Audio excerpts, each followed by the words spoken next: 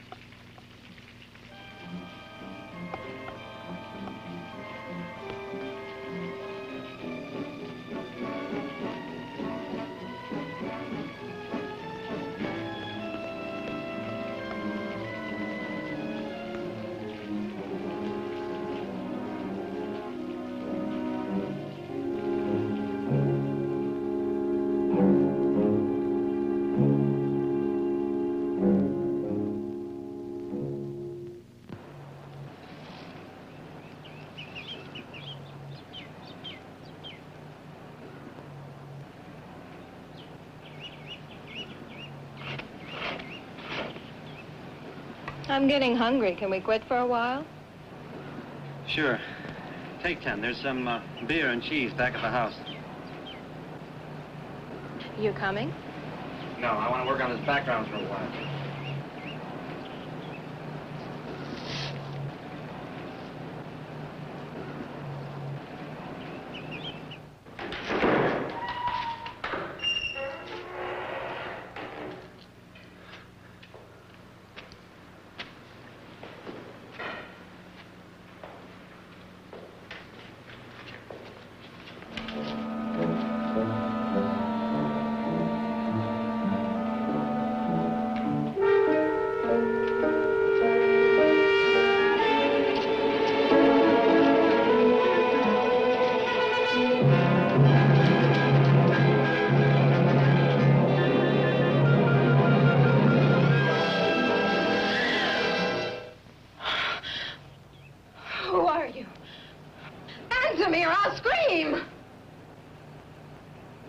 That won't be necessary, my dear.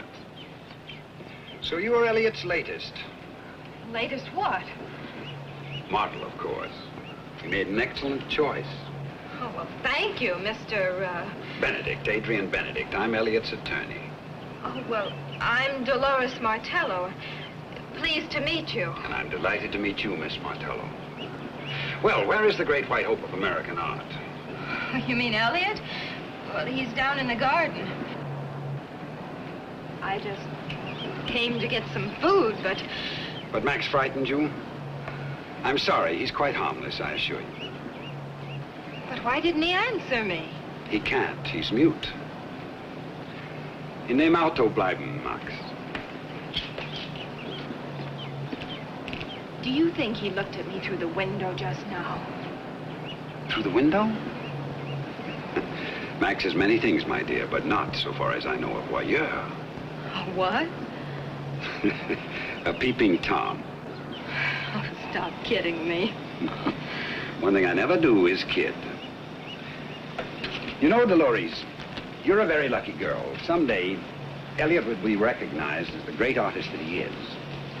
Thousands of eyes will be exploring you, appreciating your beauty, even long after you're dead. Oh, you're kidding me.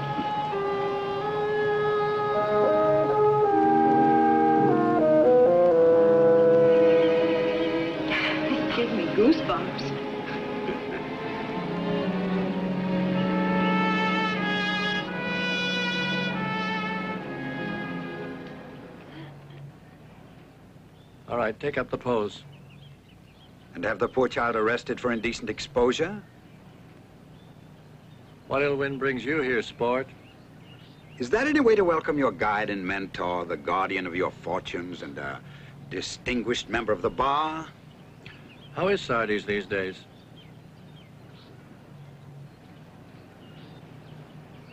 Elliot, it's superb.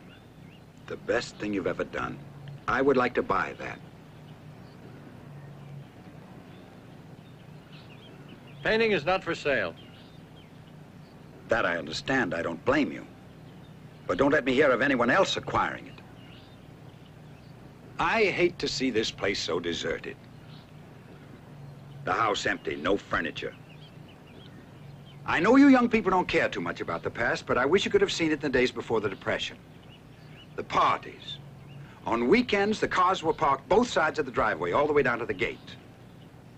There was a pavilion, tennis, all the women dressed in white. Everyone was light-hearted, relaxed, happy in a way you never see today. Even your father.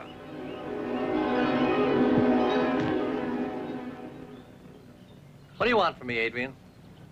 I want you to sign some papers. Since you never read your mail, I had to bring them in person. And what is all that? Amended tax returns, a resolution transferring funds for your sister's education. This last shows the sums necessary for her tuition, supplies, etc. I'll mail them to you.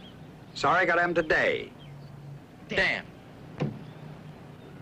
Why? because your sister, as I trust you remember, arrives tomorrow Really? on the 220 from New York.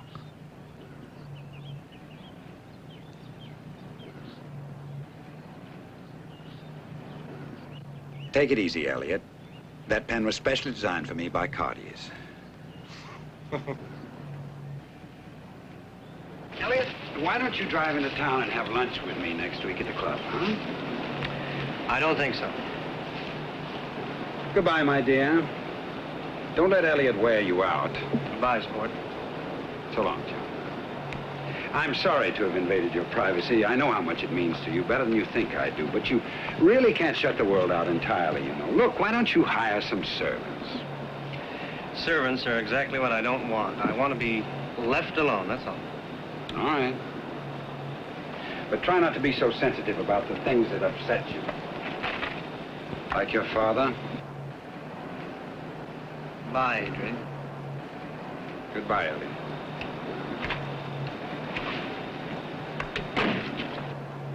Look, about that painting, if you change your mind, I want it. I shall pester you. I shall be a bore. It's one of the few privileges of age, and I shall take full advantage of it. So long, chum.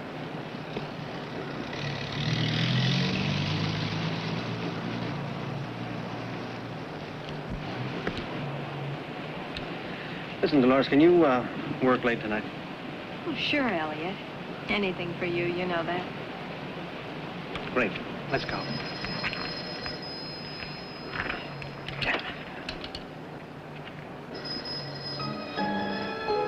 Hello.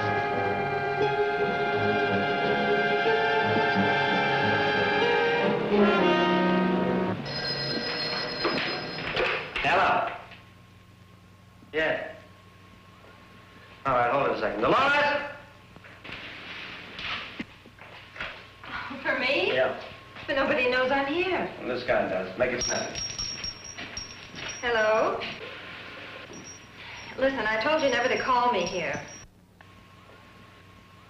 What's the matter, baby? I interrupt a great artist at work or at play? Why don't you stick your head in one of your washing machines and clean up your mind? You used to like my mind, and the rest of me, too. Till that joker showed up. Look, Charlie, why did you call? To remind you we've got a date tonight, remember? No, I'm not sure I can make it tonight.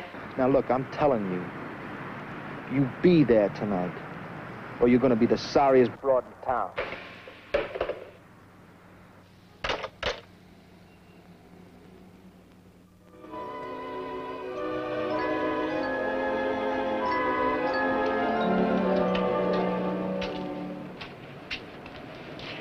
Everything all right? Mm-hmm. How late do we have to work tonight, Elliot? Around, uh, 8 o'clock or so? I don't know. Why? You got something planned? It doesn't matter. You come first. I'm sorry, but I want to get this finished for the showing. Where do you want me? Same pose.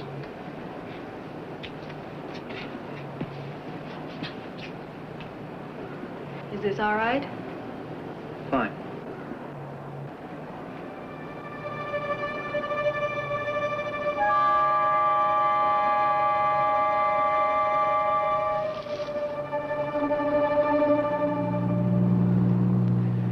You're a good model, Dolores. Did you ever think of going to New York?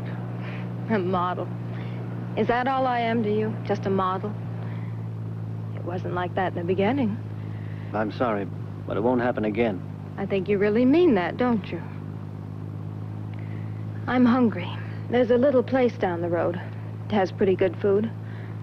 It's called Rizzola's. It's Italian. Fine.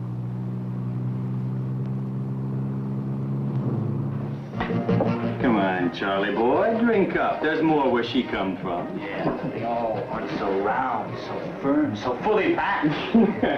hey, Charlie, uh, uh, what's her best side? Uh, for posing, I mean. Charlie alone, you bum. He's twice the man any of you are. Don't let her bug you, honey. Sylvia, take care of you. Just beat it, son. Beat it. She's the one you should be calling names. Dolores is nothing but a little tramp. She's on you with that artist. Shut up, I said, or else.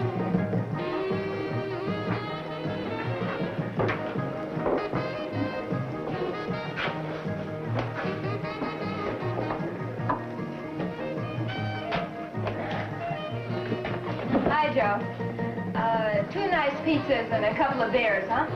Easy, Charlie. I don't want no trouble. అరయ్యా.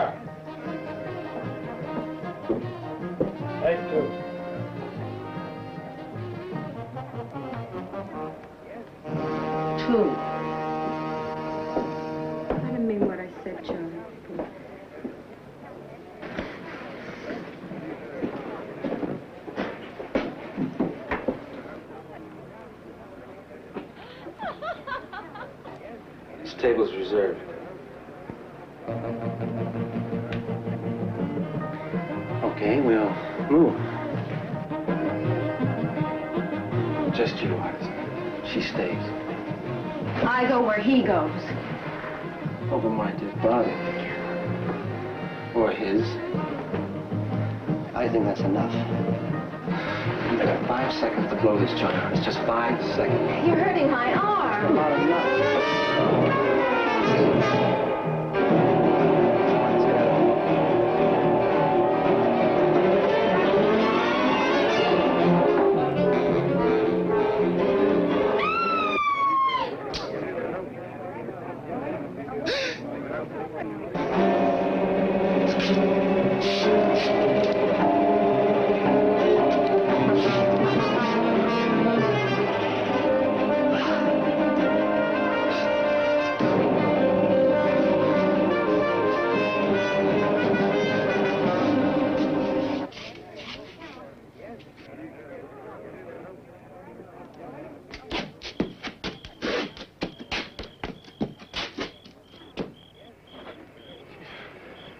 For a his size, he's a pretty rough guy. He's killed him.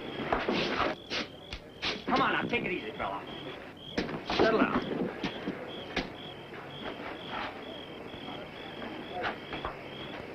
Your hand. He cut your hand. This is your fault, Dolores. You knew Charlie was here. Why did you come? He'll be all right. Charlie.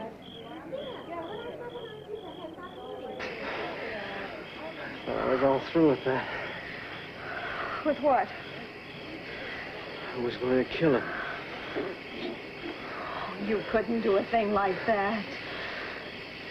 Yes, I would. Yes, I would. Come on, I'll help you to the car.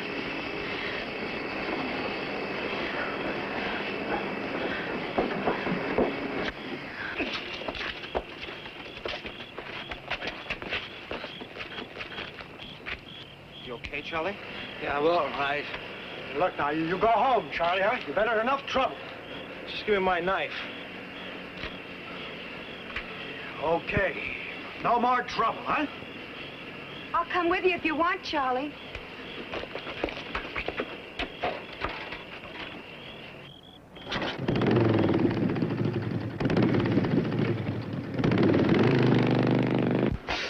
I'm sorry.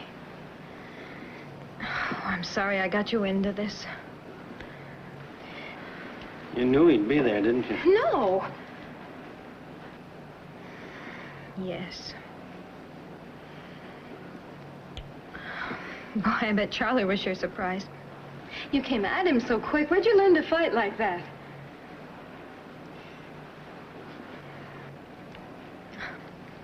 I I bet you're anxious for your sister to arrive tomorrow, huh? What's she like? I don't know. You don't know what your own sister's like? She's my half-sister, and I haven't seen her in five years. She's been living with my stepmother up in Montreal, but the old lady died recently, so Lynn's coming down here to college. Oh, I see.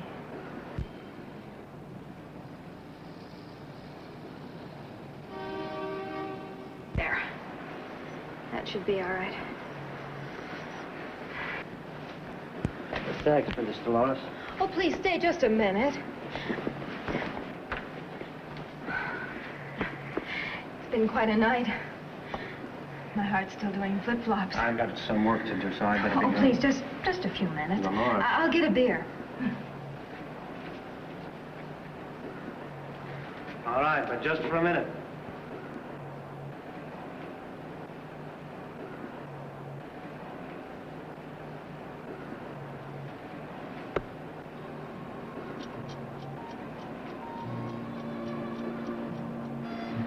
This your boy from the bar? Oh, that was last year. You've been going together for quite some time then, huh? Off and on, I guess. And you love him? And Love him. Continuing in our main You saw him. Wayne Martin and his ensemble Does he love you? with another selection. That's a laugh. He just wants to play around. Like you.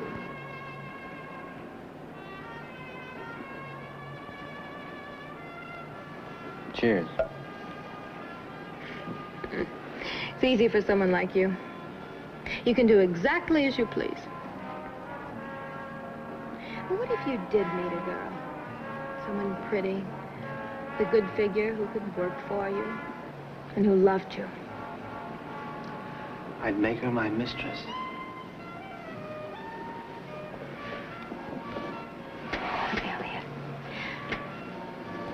I'd make a good wife for you, really I would. I know it. You know it wouldn't work. Why wouldn't it work out? Is it because I'm... I'm not good enough for you, is that it? It's nothing to do with that. That night you made love to me. I was good enough for you then, wasn't I? I think I'd better be going. Wasn't I?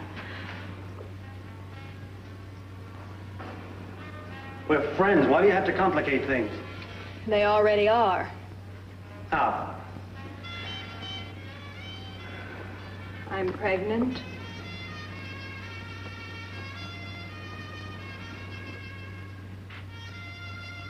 And don't try that.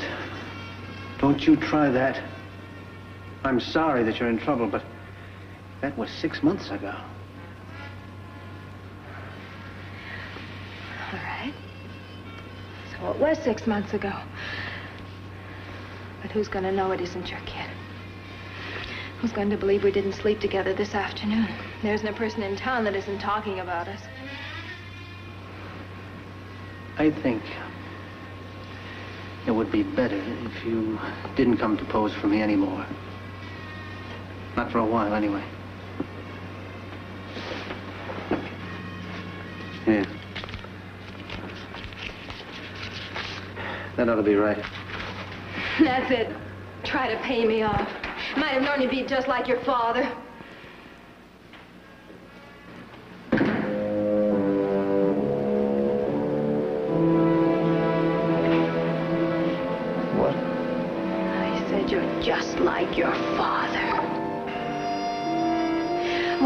Tell you something.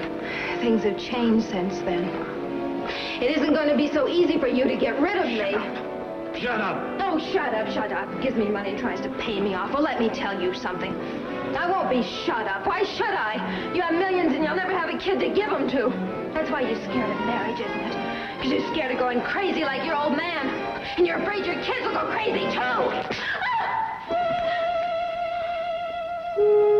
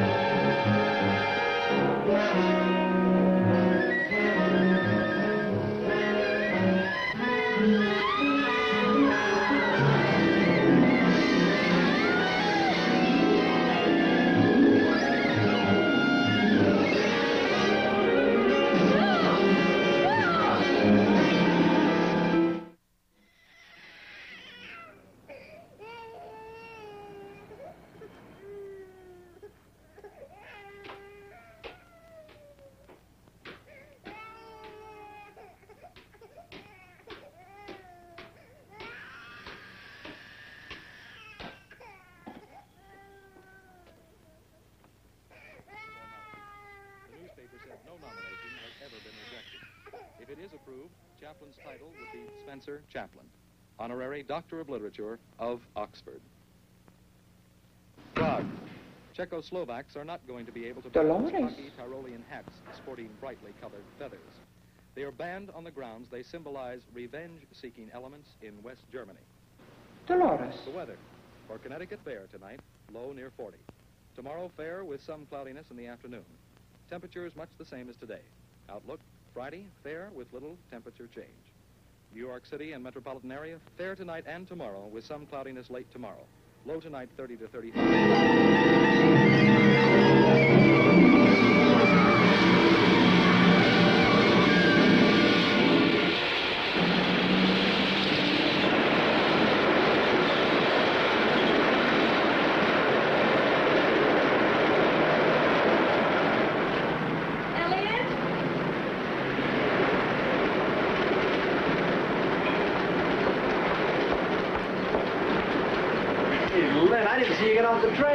Saw you. I wanted to make myself look pretty for my big brother. well, Elliot, you don't know how good it is to see you. For me, too. Oh. My. Oh, I can't believe I'm with you. This is great. How are you? Perfect, thank you. Well, haven't I developed into an alluring femme fatale in six years? Oh, très chic, mademoiselle. You could have gotten off that train from Paris. What happened to your hand? Nothing. Is that the only bag you have? I set my trunk on ahead. Good. On the way to the school, I'll show you how the old hometown has changed. I love it.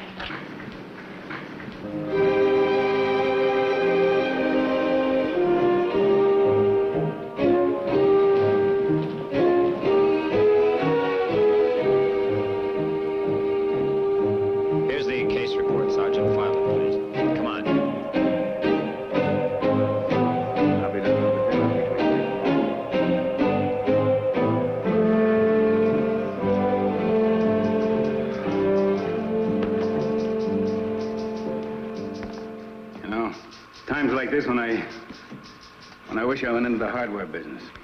Yeah. She wasn't a pretty sight, was she, huh?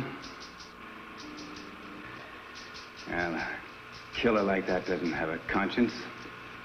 Only hate. You mean a psychotic? With sexual overtones as I look at it. You know, a killing like this doesn't doesn't satisfy an appetite. It only whets it. Let's get going. We got things to do.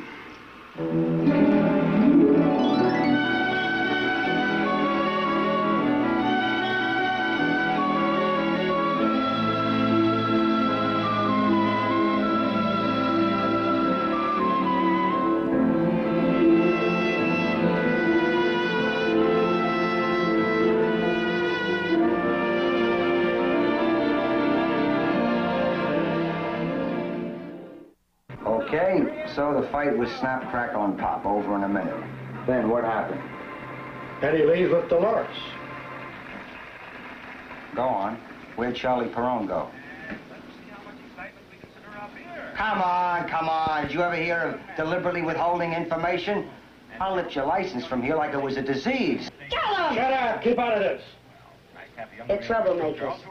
The whole bunch of them are troublemakers. He's got a room. 34 Dayton Street. Thanks, man. Stick around. I may want to see you again. I hate this business. Did I ever tell you? Find anything? A man named Elliot Freeman and a man named Charlie Perone had a fight last night over Dolores Martello. According to the bartender, Freeman won on a split decision. Too bad for Freeman, then. This Charlie Perone's a sore loser, especially when he's drunk. You know them, then? Perone works in the local laundry. He'll be easy to pick up. What about Freeman? His father was the richest man this town ever saw. Practically built it himself. Wow, what a time he gave us. You see, at the end, he, he kind of went off his rocker and no one dared put him away. Finally killed in a hunting accident. Well, come on, let's go. Hold it a second. Freeman. Elliot Freeman. Was he in Korea? Yeah, he had quite a war record, as I understand it. Of course. Elliot Freeman. It must be the same guy. He was a one-man army. Really flipped his lid when one of his buddies got it. I wonder if it's the same guy. Well, there's one way of finding out. Get in.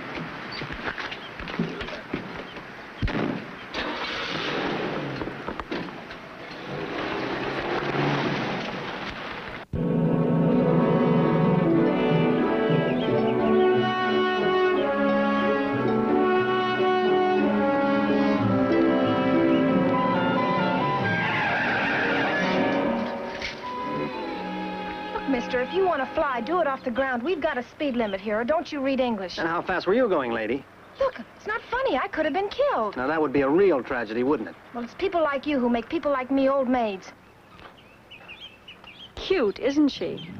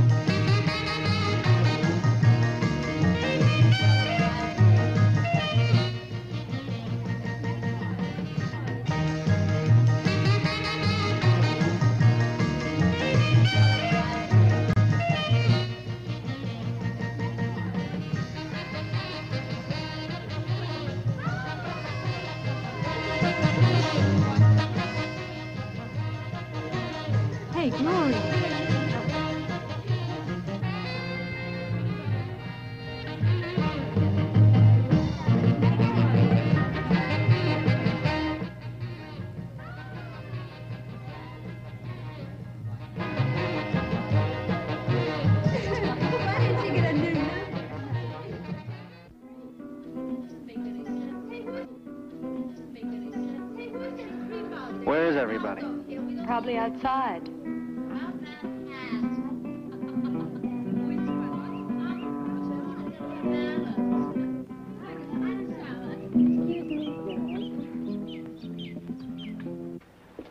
Hi, I'm Janitor Hune.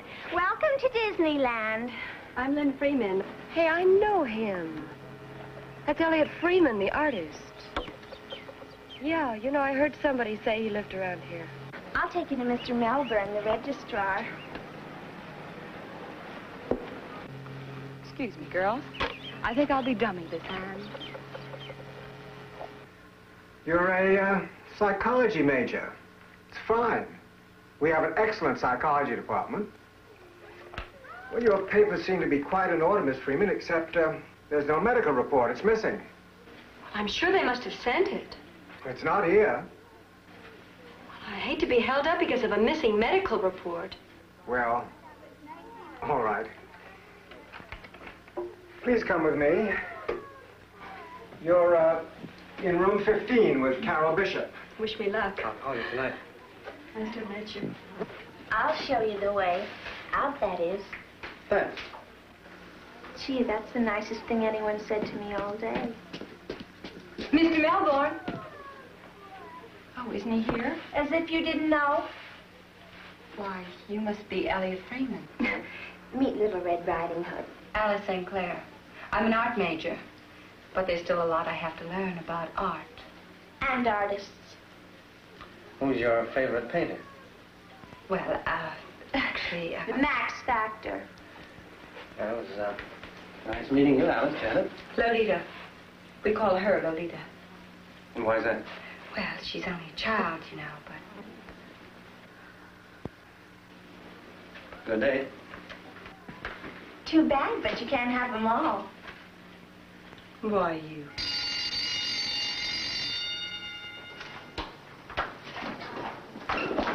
Sorry. Oh. Well, this is becoming a habit. You're Elliot Freeman, aren't you?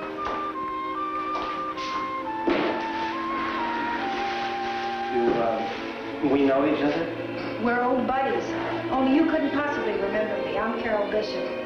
Oh, sure. You, uh, you live in that farm down the road. Listen, why didn't I ever see you? Don't you ever uh, visit? artist Freeman says. And I quote, people are fine to paint, but otherwise I can live without them. Unquote. Oh, yeah, that article. I practically knew it by heart. Listen, I can quote paragraphs about your war record, your stay in the army hospital, and your first art show at Tokyo.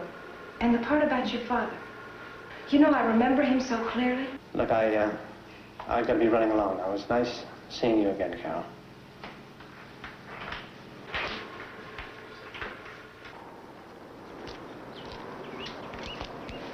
Elliot Freeman, Yes? you want to come with me, please? Why? Oh, we just want to ask you a few questions. About what? About the murder of Dolores Martello. I'll follow you.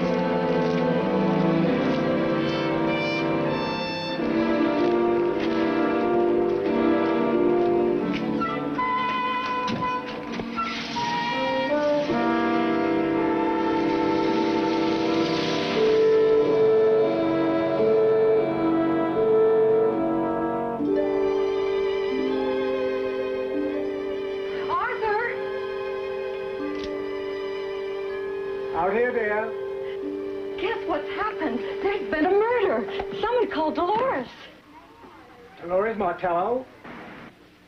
You know her? Well, I, um, I knew her name. well, I met her once in town a long time ago. How? Where? I can't remember. Arthur? You don't expect me to believe that. Please, dear. I've got to make another exposure.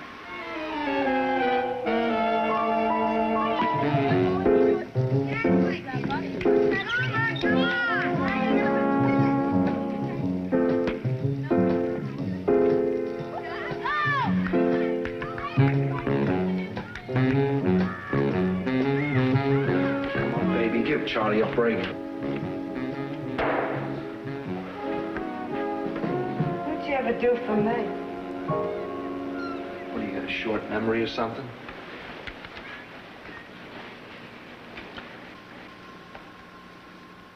Charlie, don't play with my earring. Oh, Charlie, you're hurting me. But you saw that fight last night. You know how I was. With my record, the cops are going to question me for sure. So where do I come in? Look, I've got to have an alibi.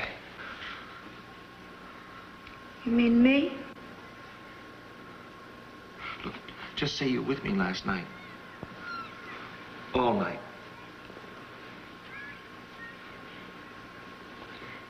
You mean here? Yeah. Except I wasn't. Please, Sylvia.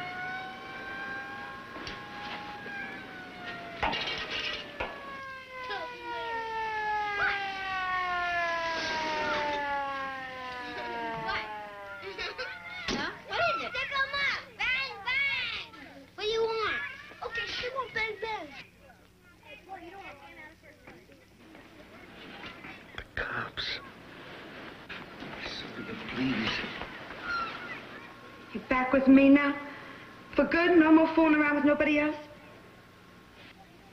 Yeah. I swear it.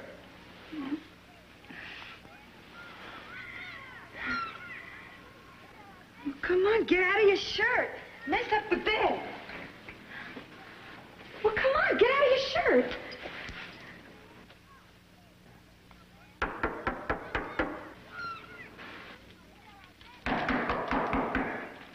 Who is it? Police, open up. Just a minute.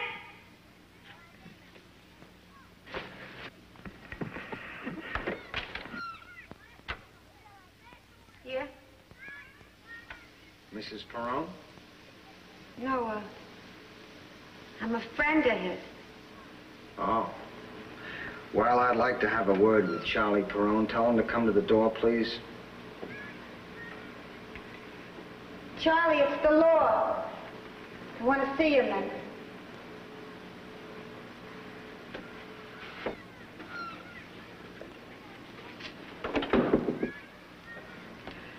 Were you you at the Pine Tree Inn last night between the hours of 8 and 10? Yeah, Where'd you go after that?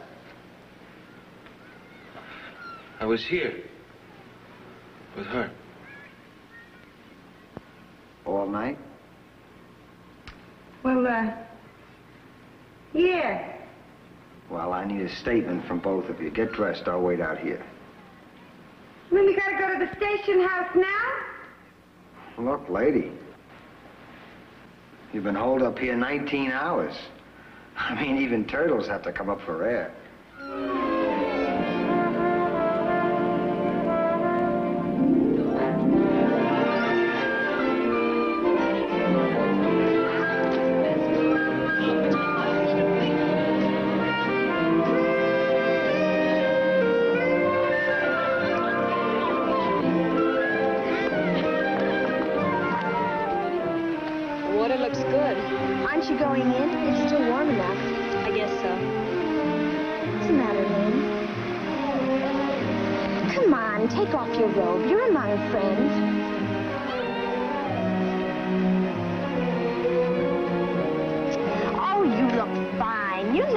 Be ashamed about. You've got a swell figure. Not just saying that. Honest, you'll make some fellow a swell wife.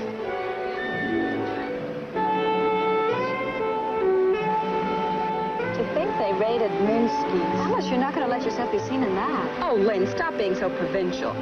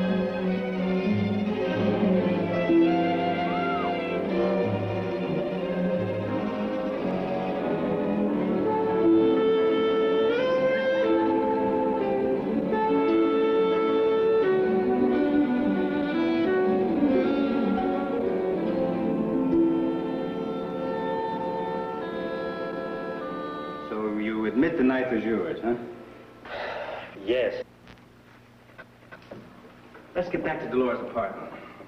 What happened after you brought her home? She fixed my hand. It had been cut in the fight with Perone. Dolores had been posing for you, right? She was my model. I used her a lot. She uh, posed in the nude, huh? Did she uh, ever tell you she was pregnant? Yes. Did she say the child was yours? Yes. And was it? No. But it could have been. No. Was there ever anything between you two? When she first came to pose for me. Now, we're getting someplace. What makes you so sure the child wasn't yours? I met Dolores Martello six months ago. Oh. Had she been seeing anybody else besides Perone? I don't know. Mr. Freeman, every witness to the fight last night said you would have killed Perone if they hadn't dragged you off. The report suggests that you lost your temper so badly that you didn't know what you were doing. Maybe. Does that happen very often? No. Mr. Freeman, in Korea, did you learn to enjoy killing? Enjoy it? Yes, enjoy it. No, of course not. Are you quite sure? Yes, I'm quite sure. Where the hell do you get off asking me a question like that?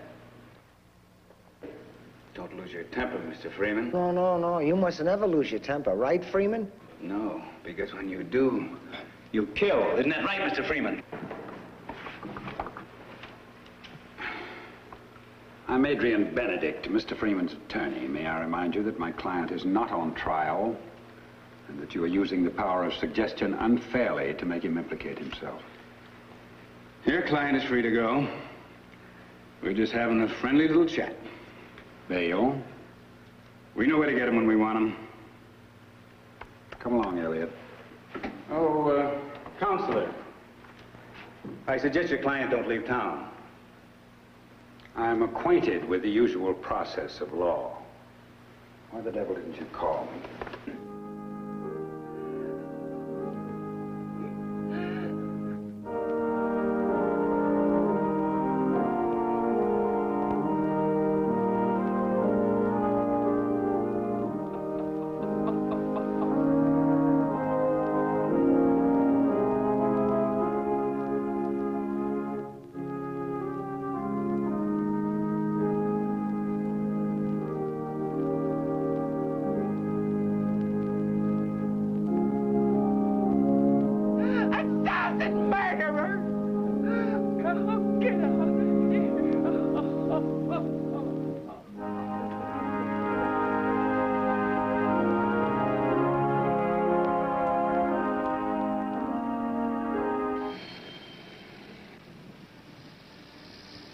On, get in the car. Why? We're gonna go somewhere. Where? Don't ask any questions, just get in the car. Come on.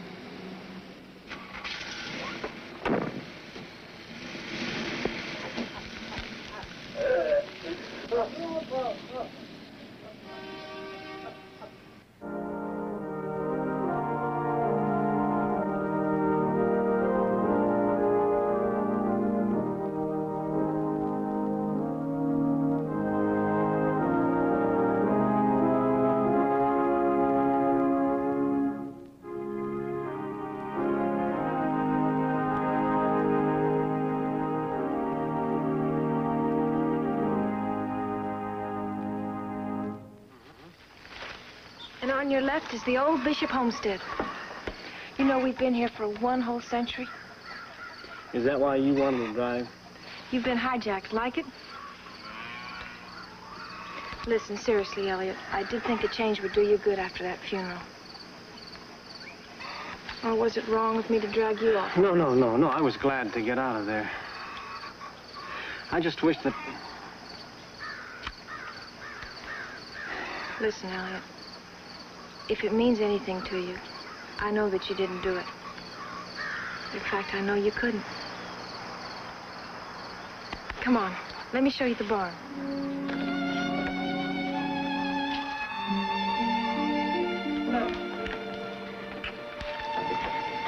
It's cute. Me, darling?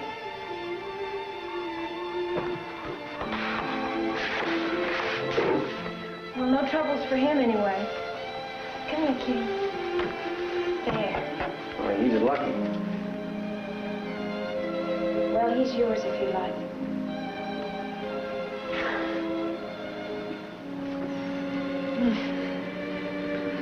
Well, I can't take care of him. Then I will. I'll come by every day to see if you two are doing right by each other. Is that a deal?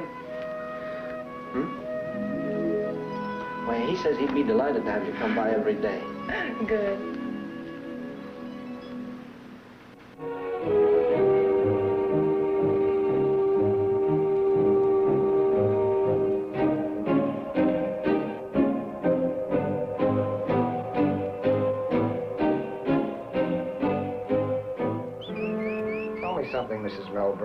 Was your husband at Dolores Martello's funeral today? Why? Oh, why, he had met her, you know. When? Well, last spring. Yes, it was last spring. She was thinking of applying for a scholarship. I see. Well, I guess that's about all. Thank you very much, and we'll contact Mr. Melbourne if it's necessary. Why should Arthur be contacted? Well, like I said, Mrs. Melbourne, it's routine. Strictly routine. Goodbye. Goodbye.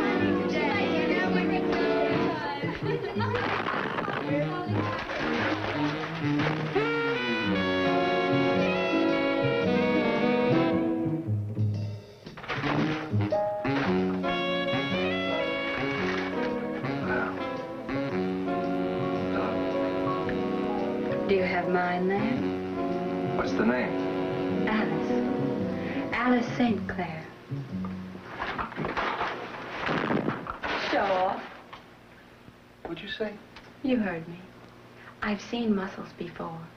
I'm not impressed.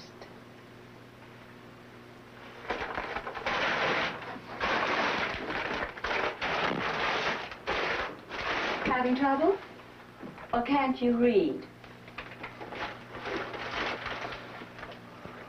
It's here, I'll find it. I don't see it. I better look at my truck. Hey. You smell of tobacco and beer. An animal. I'd better look at my truck.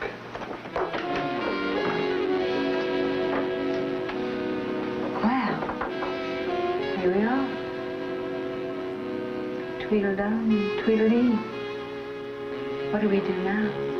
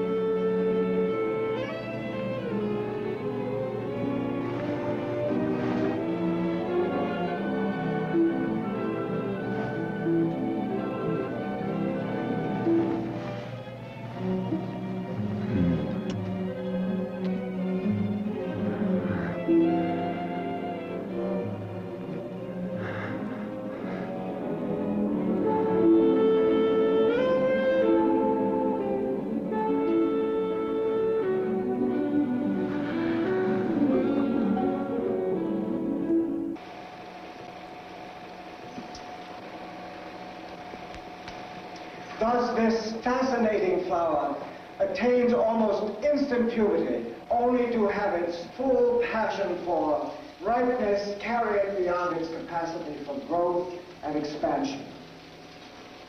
It dies almost at the instant that it first flowers. Birth, maturity, and death, all within the short span of 15 hours. There is then a lesson here, young ladies, to be drawn for all of us, I believe. Do not let our lives be carried by passion beyond the bounds of good taste.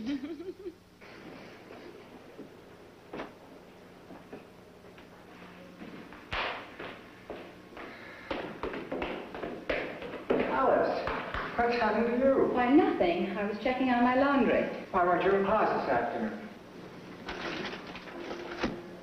What were you doing in there with him? Answer me. Too bad you missed it, Professor. It was just up your alley. By the way, down by the lake this morning, is that the way you look at a student? One of these days, Alice, you're going to go too far. I'm warning you. And one of these days, Mr. Melbourne, you're going to go too far.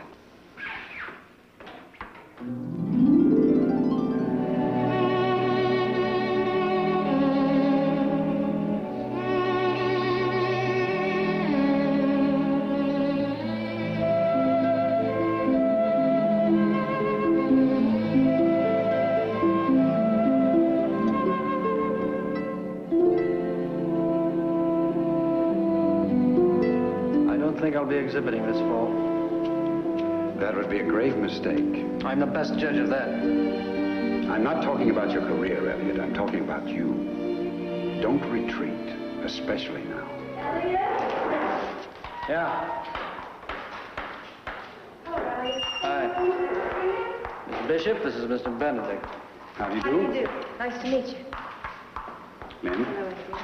Oh, Sam, that's just beautiful. I'm speechless. It's as if I know her. I mean, knew her. How wonderful to be so gifted. Hey, where's my kitten? Out and back. Come on, I'll show you. You coming, Lynn? Not right now, thanks. Lynn, I want to ask you something. You love Elliot.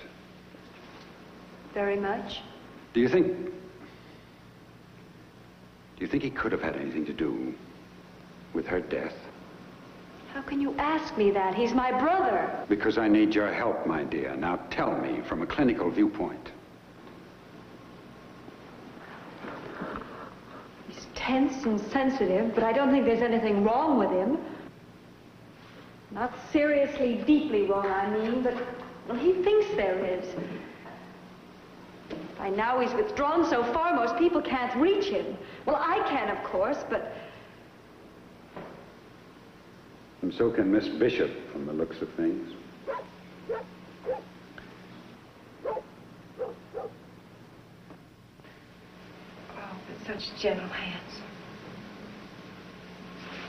They are not gentle. Now what have I said? Oh, you wouldn't understand. You don't give me a chance to understand. It seems to me you want to make your life a tragedy. It is. My whole life is a fraud. In the war, my whole platoon was wiped out, all except me. Now, why was that? Why was I the only one spared? It was because I was the best one at killing. But you're no more a killer than all the rest of them that had to fight. You must Wait, now wait, there's more. I killed my own father. Todd, what are you talking about? No, when I came back from Korea, there was a hunting trip. We all were there, Lynn and Mother, my father and I. We just had a big argument, see? And later they said it was an accident. And, and Adrian got me acquitted. But the truth is that I hated him and I wanted him dead. I killed my own father.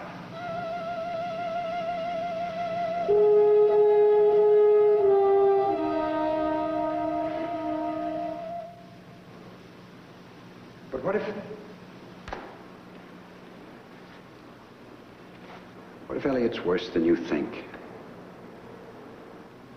are you suggesting that my brother is capable of murder? I thought you'd be more loyal to him. And I credited you with more sense. I will not stand by while you implicate him in Dolores Martello's death. For the amount we pay you, I expect unquestioned loyalty.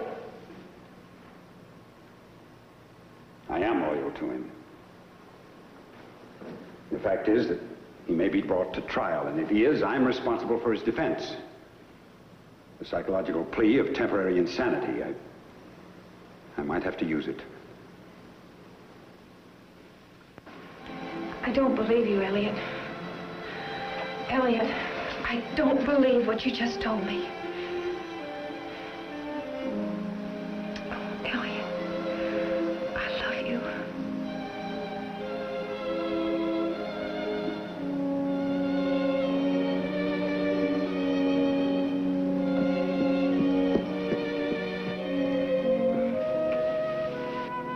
Max is going to drive us back.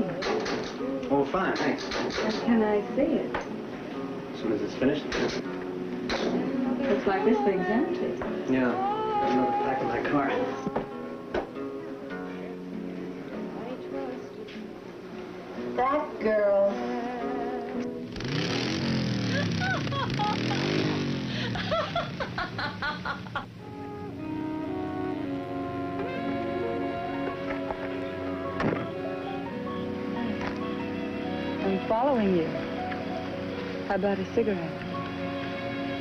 Sure.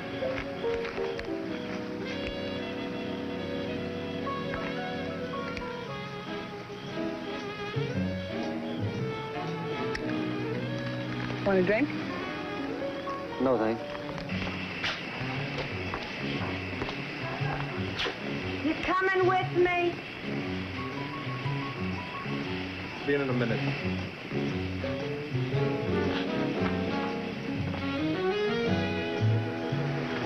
An idea. How about a smoke? Some other time. It's a little chilly tonight.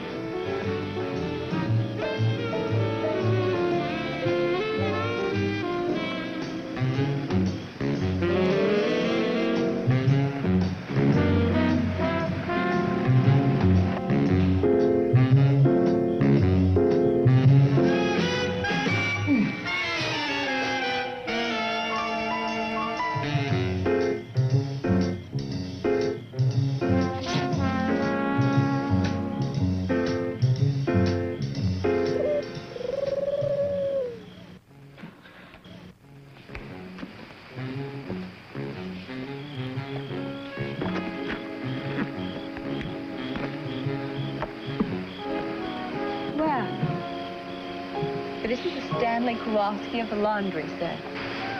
Yeah, I like you too. Did you ever find my laundry? Yeah. Where do you want it delivered? Ooh. Hey, that's unsanitary. Anything you got, I want, baby.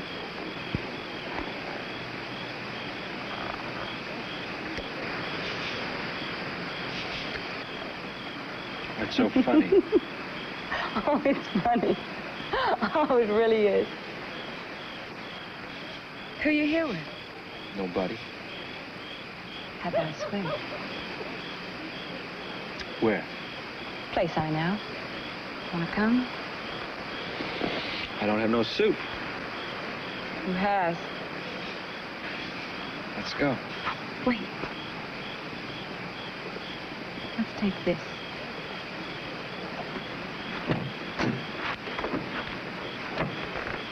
Yours? No, dear. He belongs to a long lost friend.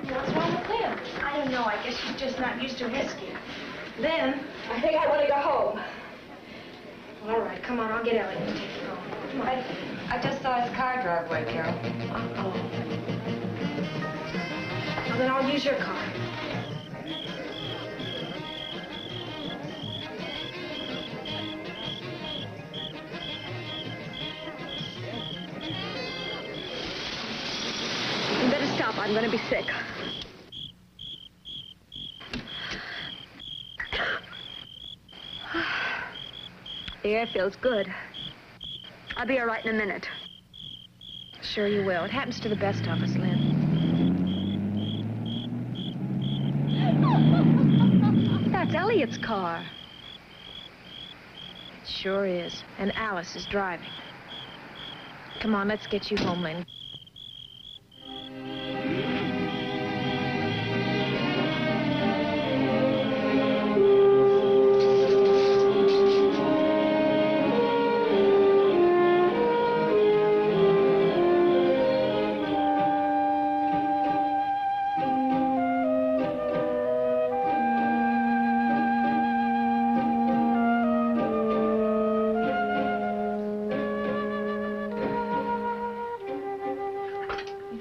Better? Or is your head still spinning? No, but the room is. Wow. Look, why don't I go down to the kitchen and make you a cup of coffee? It'll make you feel a lot better. No, thanks. I think I better sleep it off. You coming to bed? No, not just yet. I think I'll go take a walk for a while. Carol, I'm sorry about tonight. I mean about everything. That's okay, Lynn. Good night.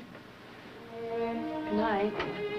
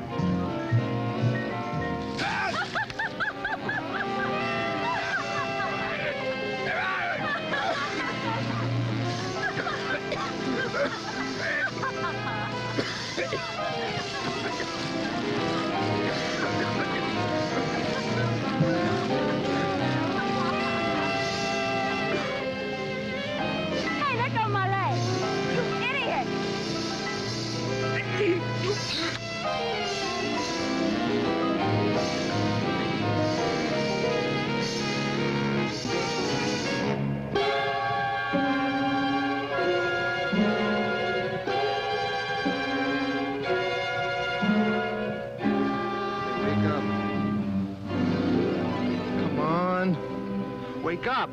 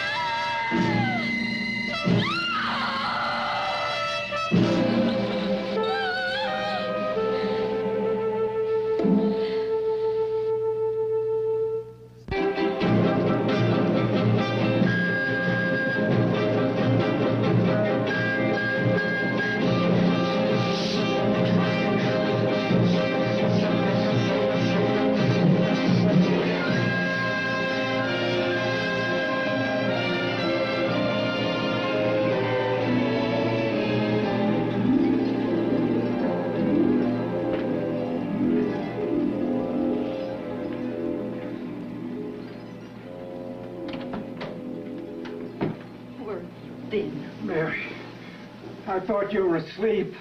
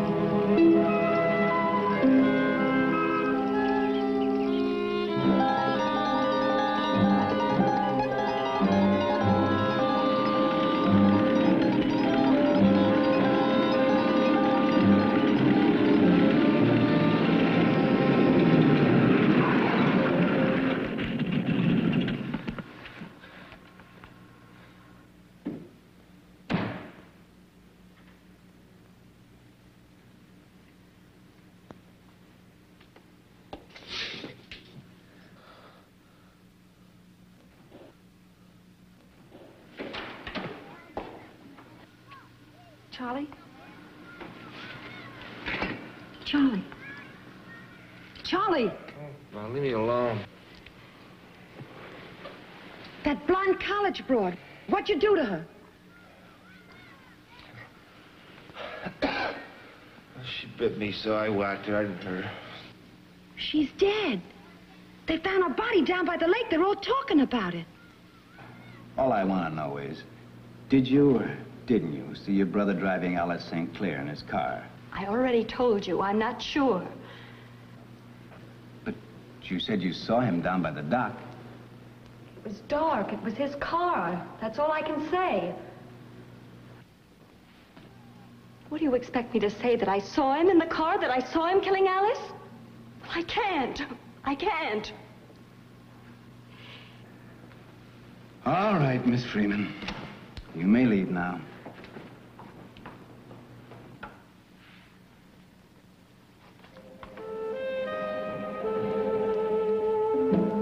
Oh, you're crazy. You killed Dolores, too, didn't you? No. No, Sylvia, I didn't. I swear, I didn't kill anybody. You gotta believe me, I didn't kill anybody. Yeah, sure. I believe you, Benny. Now, why don't you, why don't you go back to sleep, huh? Get a rest, huh? You look all in.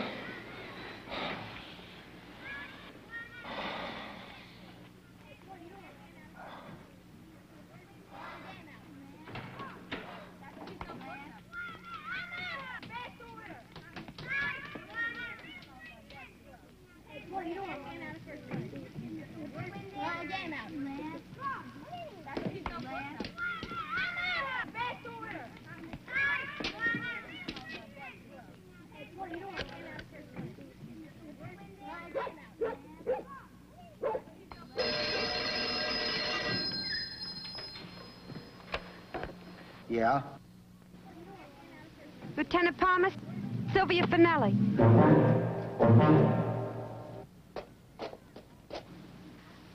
Well, look, you remember I told you I was with him? Yeah. Well, I wasn't. Well, where's Perone now? Hello? Hello?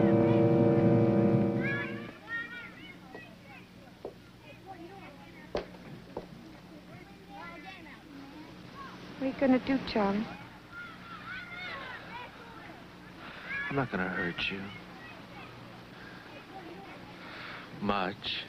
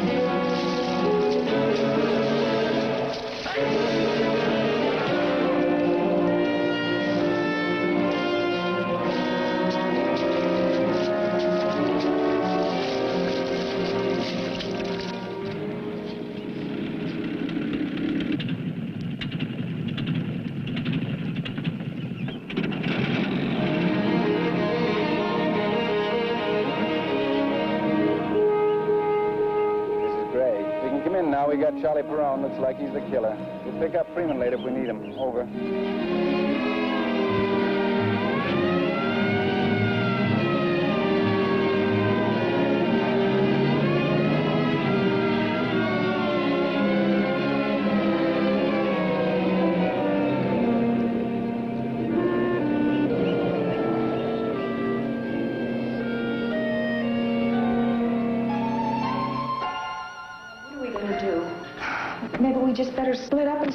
For him.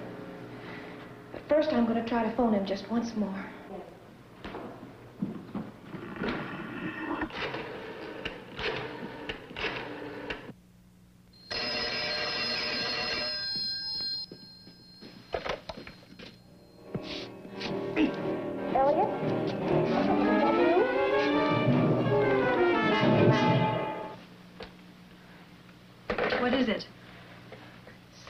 Answered the phone and then hung up.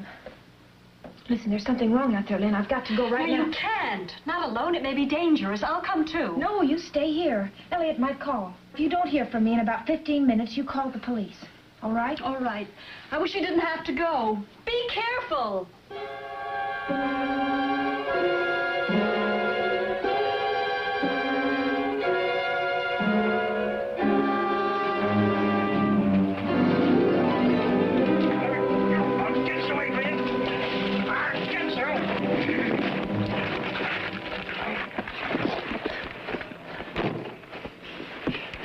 Taking me? To Boston. Boston? We have a fine mental hospital there with a wonderful staff of doctors. Believe me, Elliot, it's all to the good. There isn't a jury in the world unsympathetic to the plight of a psychotic war veteran. I'll get you for this. There's Carol. Carol can wait. We can't. We have to file a doctor's report. Look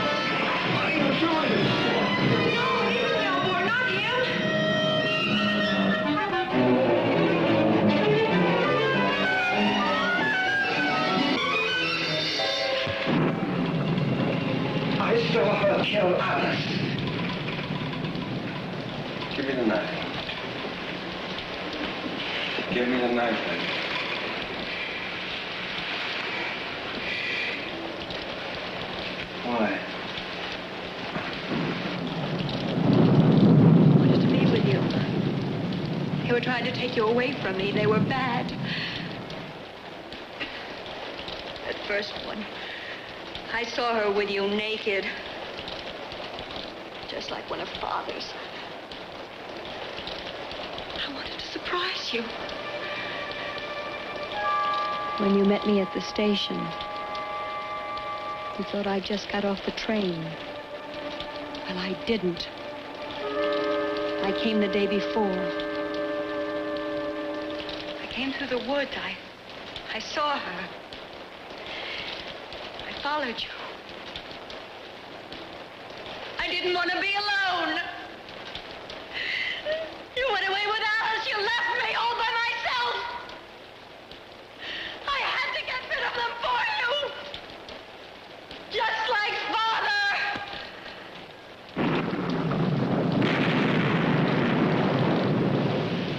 What do you mean, just like father?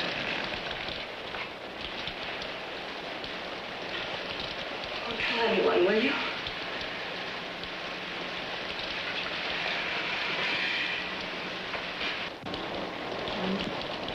When we went hunting, I shot father. You hated him so much. Now we can be together, can't we?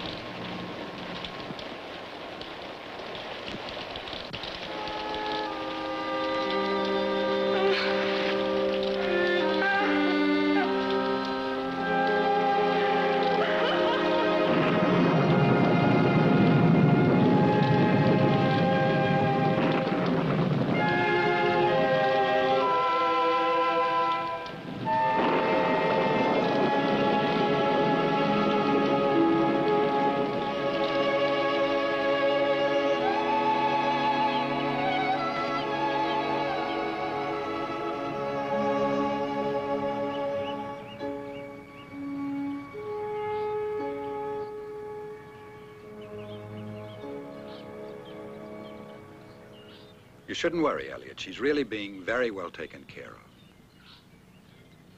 But I keep thinking there must have been something I could have done if only I'd been a little more understanding, more perceptive. No one but a trained professional can really help a deeply disturbed person. Yes, but if she were that deeply disturbed, I still don't understand how she could be so clever about the disguise, the boots. The instinct for survival. She threw the suspicion away from herself onto Melbourne. What about him? What's going to happen to him? He'll have a rough time, I guess, but he's a talented man. He should be all right eventually. Well, I must shove off. How about having lunch with me in town on Tuesday at the club? Great. I'd like to. One o'clock? Fine. So long, chum. Bye, sport. Adrian. If you still want that painting, it's yours. I hate to admit it, but you're right. Her mother should have it. But I want your next one. Oh, Miss Bishop. Hello, Mr. Benedict. Why not make this lovely young lady your model? I brought you lunch.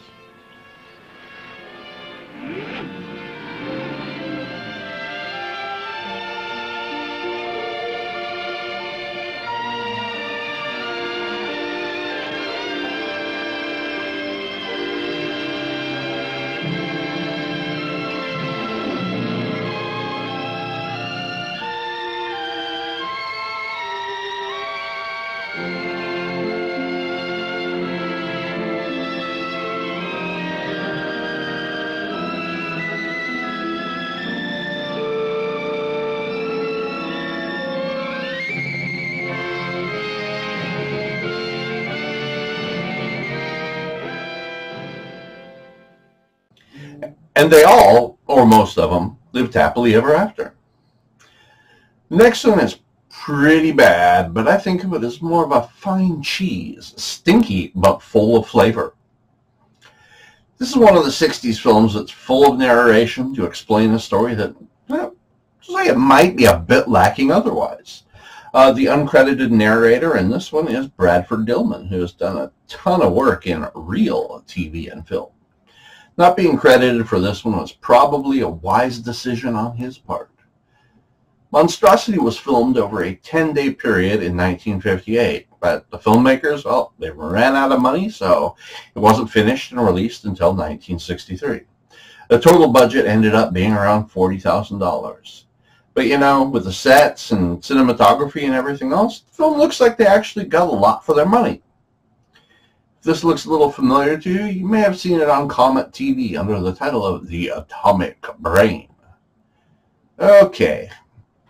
We'll now have an intermission reel so you can get some snacks or do whatever else you need to do, and then on with Monstrosity. Refresh yourself. It's intermission time. The concession stand is open and ready to serve you.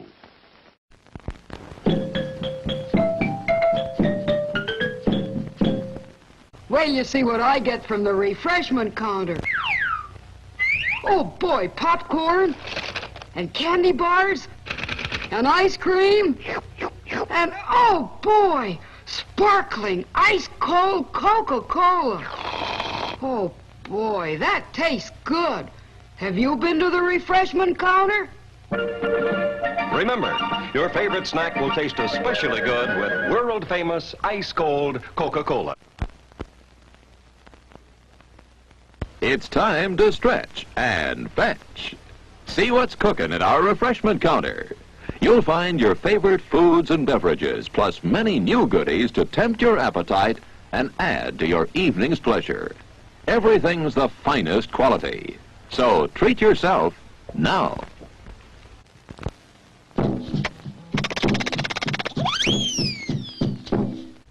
After the show, please replace the speaker on its stand. If you accidentally break the cord, please turn the speaker in at the refreshment stand or the manager's office. Thank you. And by the way, on your way home, drive...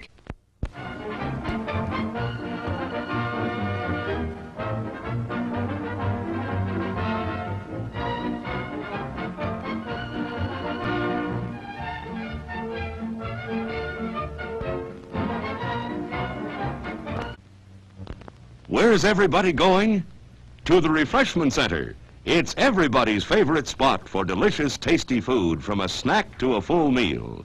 Drinks, coffee, hot chocolate, and ice-cold drinks of all flavors, plus all the extras including gum, ice cream, candy. Make your evening at this drive-in even more enjoyable. The refreshment stand has everything to make your visit here a pleasant one. Why not get something now?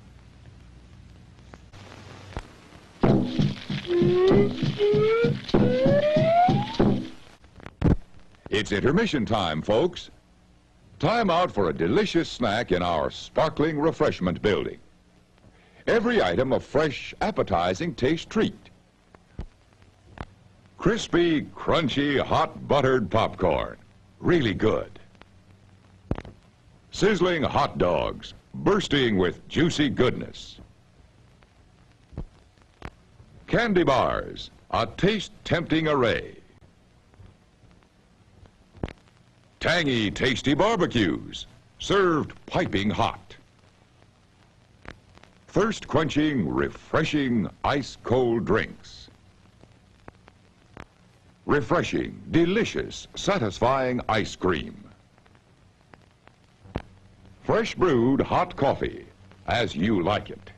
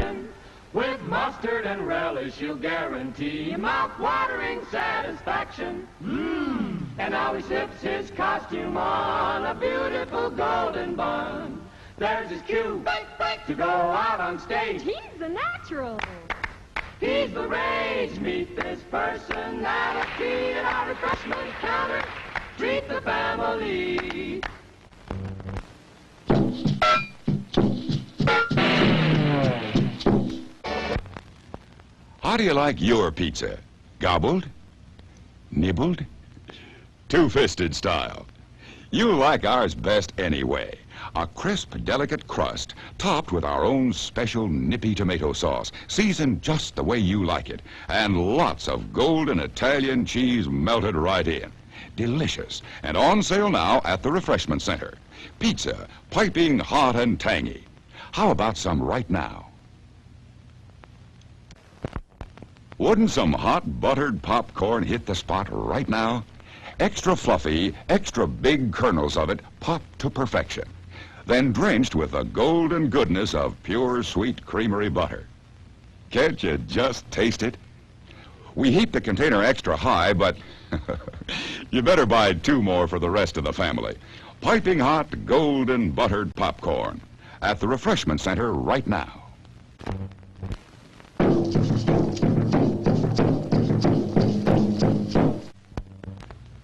How do you make a picture of a perfect hamburger?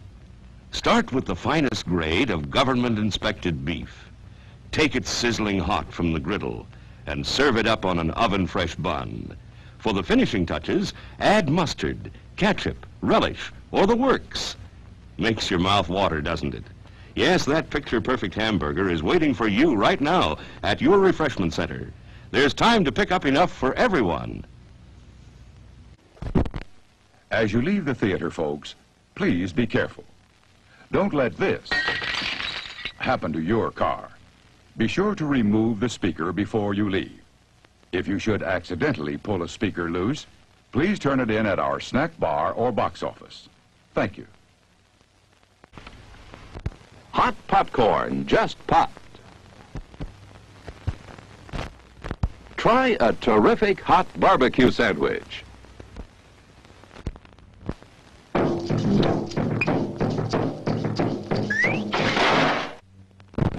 It's intermission time, folks, and that means it's time for a tasty snack. How about a stroll over to the refreshment counter for a delicious bite to eat? You don't have to worry about missing any part of the show because our announcer will let you know three minutes before the show starts again. See you over at the refreshment counter. And now, here's our own special hot chocolate. Extra creamy, rich, and delicious. Because we whip every drop frothy smooth. Gives it something special in the flavor department. Creamy hot chocolate at the refreshment center.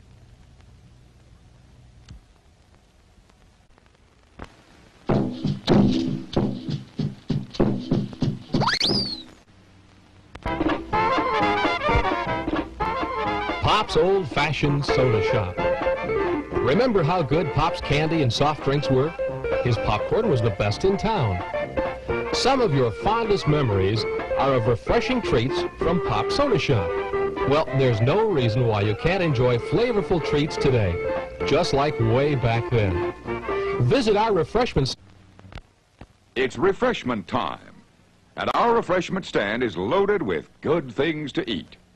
There's crispy, crunchy popcorn and hot, delicious buttered popcorn.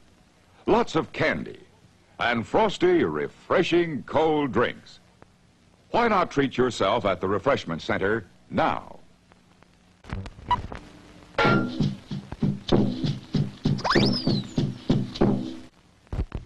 Nothing refreshes like frosty, delicious ice cream.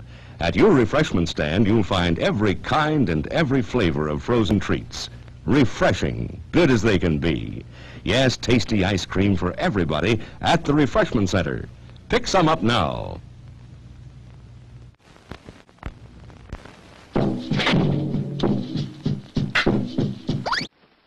Popcorn hungry, we have it. Kettle from the Popper. There are other treats for you, too, such as fresh candies and ice cream. Visit the Refreshment Center now. Enjoy a delicious snack and ice-cold Coca-Cola.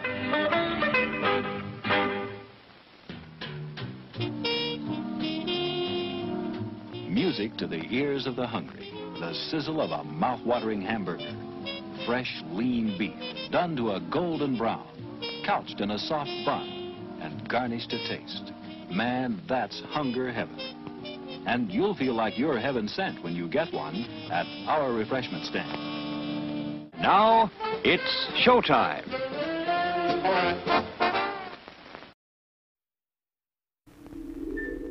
Can death be outwitted? Is the secret of eternal life just around that corner? Today, medical science patches up mutilated bodies, transplanting human skin, eyes, limbs, even vital organs. Is the next step the transplantation of the human brain? Many scientists answer yes, but they pause and add a grim warning. For in the ancient folk legends, tales are told of blood-sucking vampires, crawling out of graves to live on the bodies of helpless victims. Is man now doomed to produce a race of ever-living monstrosities, worse than the vampires of legend? Will ruthless men and women of great wealth and power greedily buy or steal the living bodies of the young and beautiful so their brains may live on forever? Such questions may seem fanciful, but at this very moment, scientists are working on the answer to brain transplantation, and human bodies are used. This girl was buried in a nearby cemetery yesterday. Only a few hours ago, her body was stolen. By Dr. Otto Frank and brought to this hidden laboratory. He has grafted a living animal's brain into this newly dead body. If the experiment works, the next step will be the transplantation of a human brain. The brain cells are being reactivated by an atomic fission produced in the cyclotron.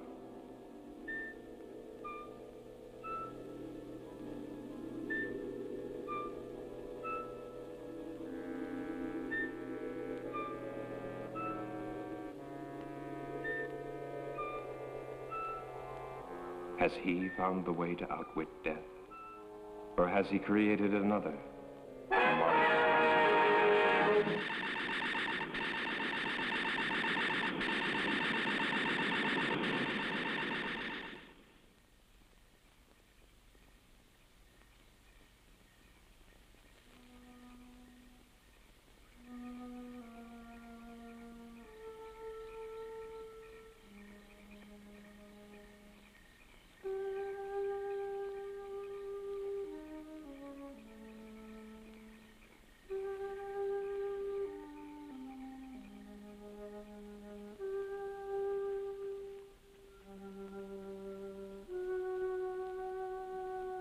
Below, Dr. Frank takes the chance of smashing his way into a newly sealed vault.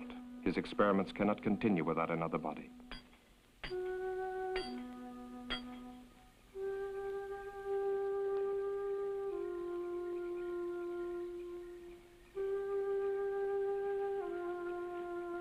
The watchman's mind was not on body snatches, just his usual nip.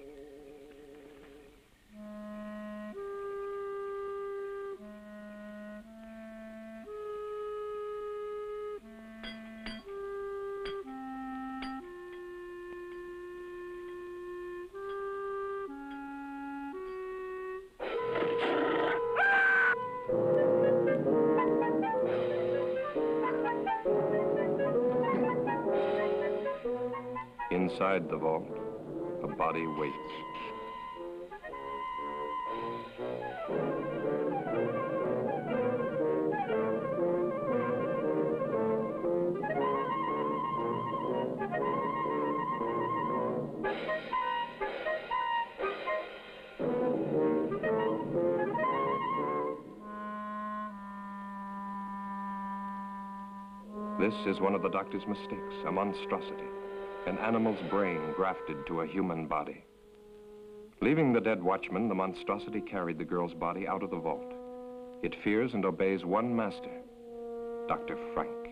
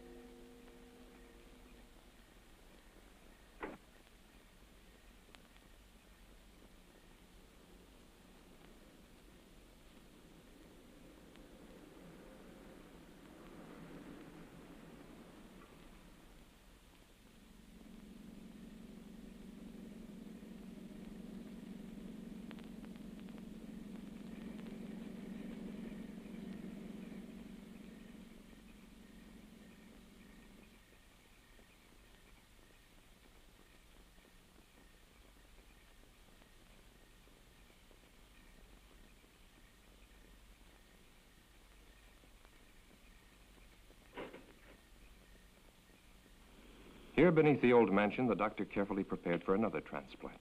This body had been in the vault for only a few hours. Chances seemed better this time. Still, Dr. Frank was doubtful. Tissue in dead bodies deteriorates rapidly. Where were the live, fresh bodies he'd been promised? He bitterly resents that every step forward depends on the whim of a miserly old woman brooding upstairs in her bedroom. And Hetty March wonders. Has she been a fool, squandering money on this strange experiment? Money hoarded through a long, greedy lifetime, each day more money, each day death getting closer. Ah, but to start life again in a brand new body, beautiful and young, no price can be too high for that. Can she really trust the doctor? Can she really trust anyone? Hasn't everyone tried to cheat her? Wanting her money while they smiled at her ugliness? But they never got a penny. Oh, how she made them sweat. Especially this old fool, companion and gigolo. How many years she's kept him dangling on promises. Well, sometimes it's convenient to have a man, especially when he comes cheaper than servants. That the Austrian girl? Lionel Rhodes, 18, no family, pleasing personality, whatever that might mean. Hmm? Thick ankles, pimply face, but she always smiles when she's spoken to, very likely. Well, application forms for a servant girl don't usually include bust, waist, and hip measurements. We interrupt this hmm. program to bring you a... All three will be here tomorrow, and then you can choose. Early this evening at Greenhaven Cemetery, the body snatchers brutally murdered night watchman Robert Payne, 62, who evidently interrupted his killers during their ghoulish task. His neck was broken. The imprint of a huge pair of hands was found on his throat. It's the opinion of the police that the same gang that has previously Ring for Dr. Frank. So that's what he was doing.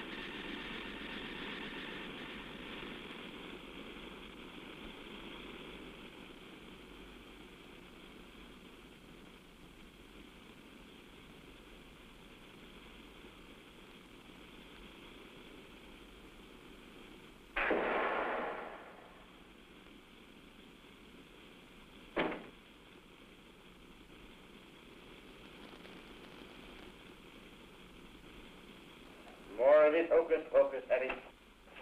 The doctor transplanted a brain from a live dog to a dead human body.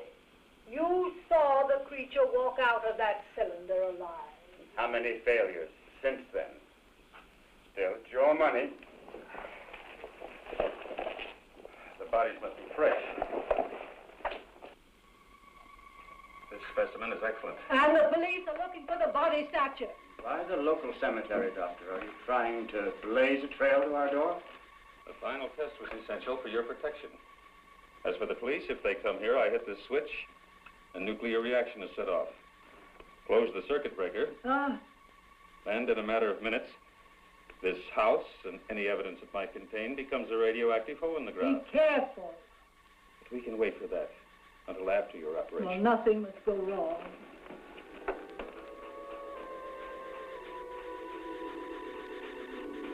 No sign of life. Watch.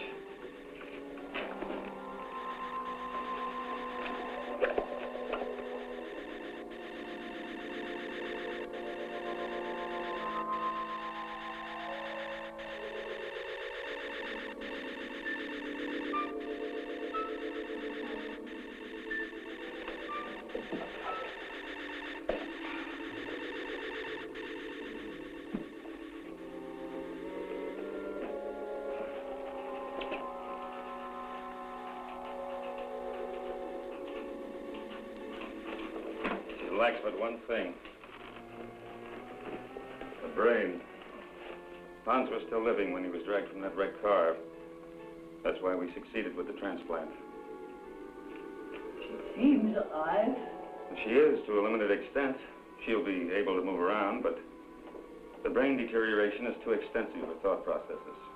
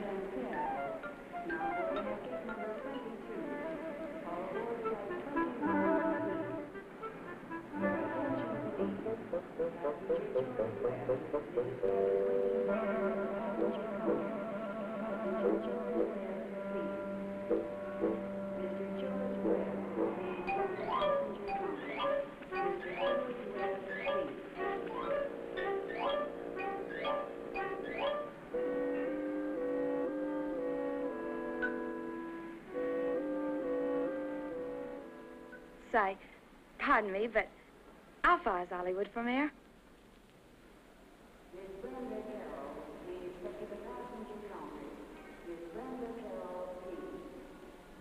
All right, let's see. 16 kilometers, about 10 miles. Which way? That way. Are you going to Hollywood? No such luck. I'm what's known as a born domestic. For the next 12 months, I'll be scrubbing floors and making beds. But when my time's up, Hollywood, look out. That's strange. A foreign domestic agency paid my passage, too. I'm from Vienna, Austria. Oh, really? Mm-hmm. I'm from England. No. Is this your first trip? Yes. I'm awful excited. Por favor. I know speak English very good.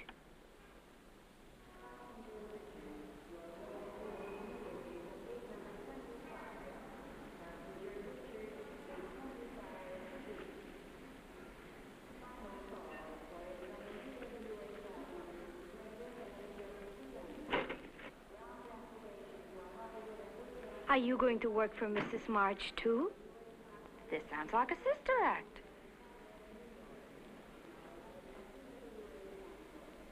You too? Nina Road, Yes, sir. Anita Gon Gonzalez.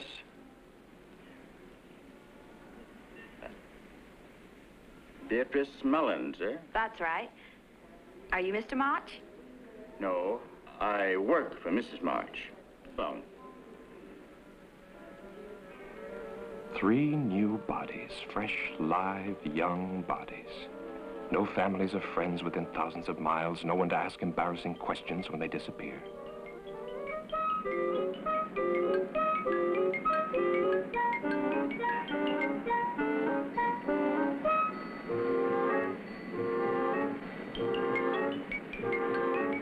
Victor wondered which one Mrs. March would pick. The little Mexican, the girl from Vienna, or the buxom blonde. Victor knew his pick, but he still felt uneasy. Making love to an 80-year-old woman in the body of a 20-year-old girl is insanity. Still, Hetty's plan to transfer her fortune to the new body had been brilliant. Unpleasant to think of what was going to happen to these girls, but a man has to consider his own future. What would happen to him if Hetty were to cast him off after all these years?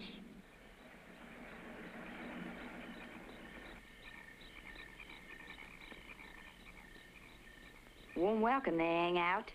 Well, there's your new home, girls. Gives me the shivers. Aren't there any neighbors? Nope. Are there any other servants? No, but I don't think you're going to find it boring.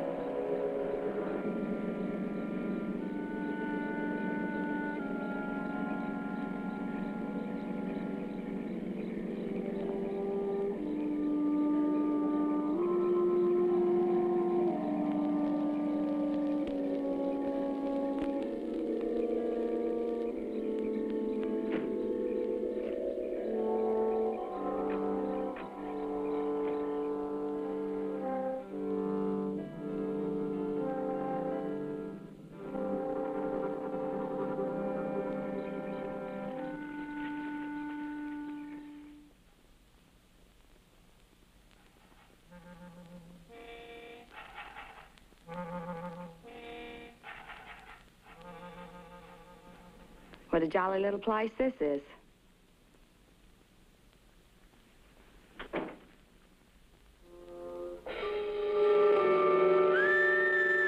What was that? No one's to leave this house without permission.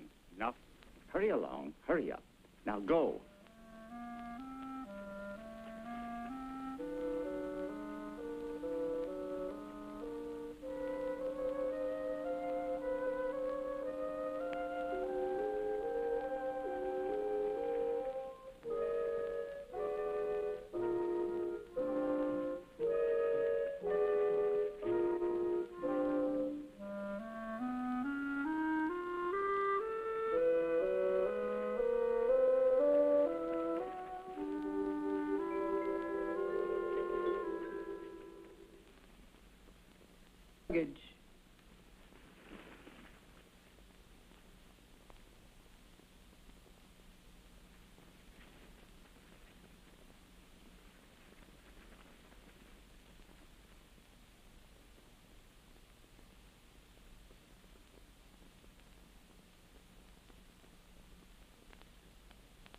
Turn round.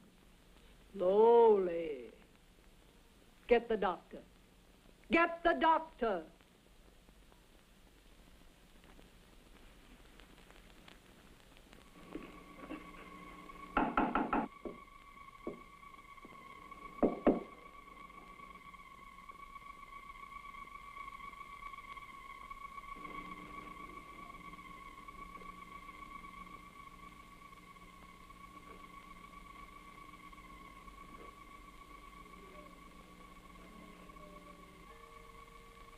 As with the other bodies stolen from cemeteries, the nerve endings of the brain were too far gone to receive a proper transplant. The experiment had failed to produce anything more than a walking, breathing, zombie-like creature. But the doctor permitted her to wander about the laboratory. She was quite harmless and, at times, even amusing. Charming, isn't she? Did you want something? Uh, Mrs. March is waiting for you. The girls have arrived. She doesn't have a brain. Might be advantages.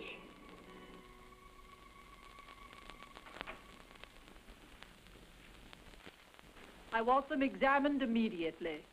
Very well. This way. Victor, the doctor can conduct the examination perfectly. what an old spoiled sport I am. Have you disconnected the phone? Can't I depend on you for anything? Won't it be nice when those girls start calling police, employment agencies, immigration authorities, consulates? There will be no phone calls.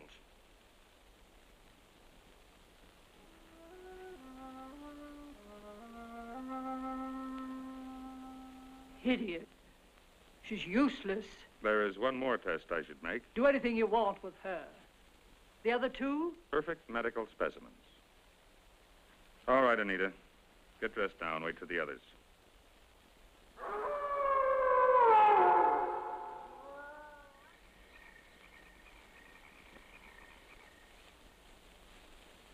Mrs. March, I am now giving you notice.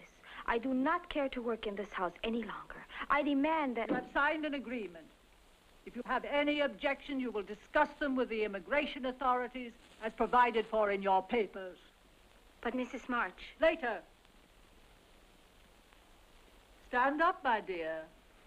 I've got the same measurements as Marilyn Monroe.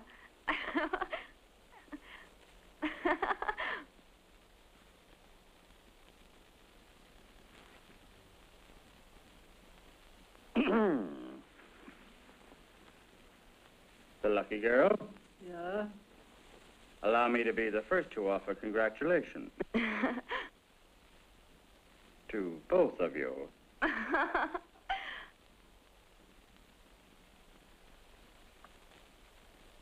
For me?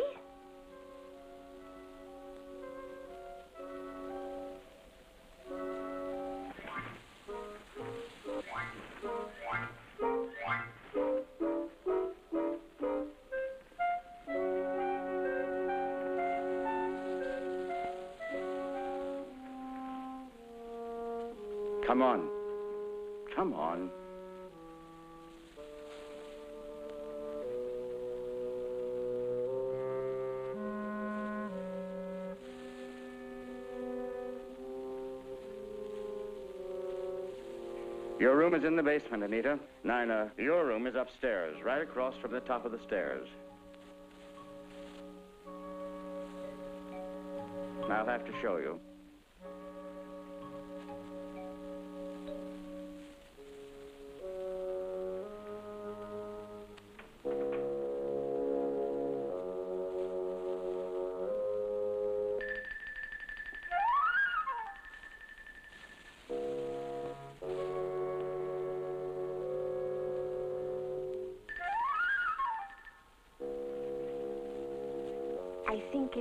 Lonesome down there. Nonsense. You'll be all right. Go on.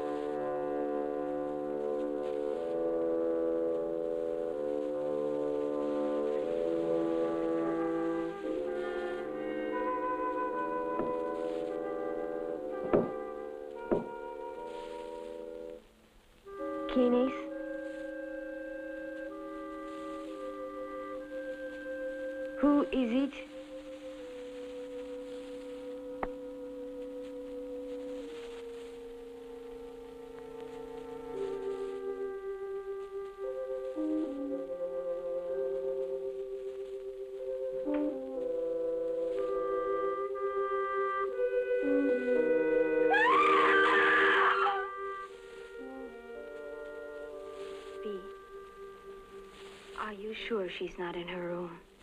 Yes. Victor left a little while ago. Maybe she went with him. She didn't get out of this prison without permission, that's for sure. Yes. But you would have said goodbye. Why should she? We only met her yesterday. I don't blame her for not wanting to sleep in the basement. Oh. It's funny, though. Mrs. March wouldn't even listen when I asked to be dismissed.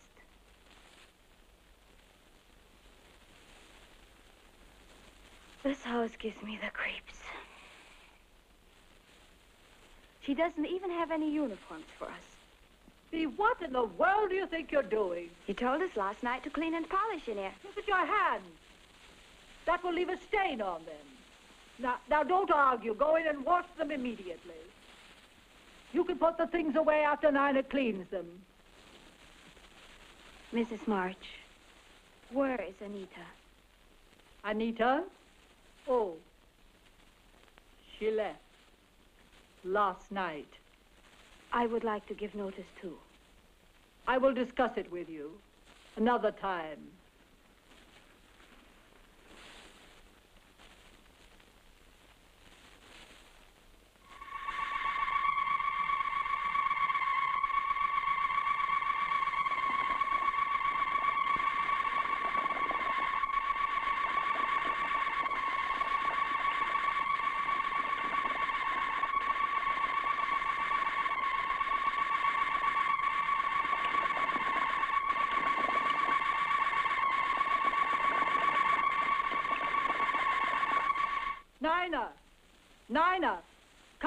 This instant.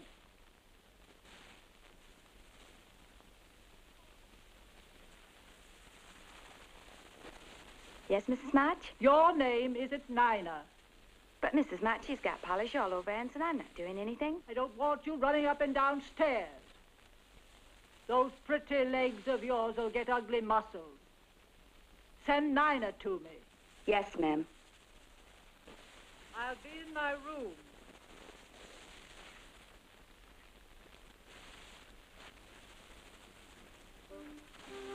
Bee, come with me.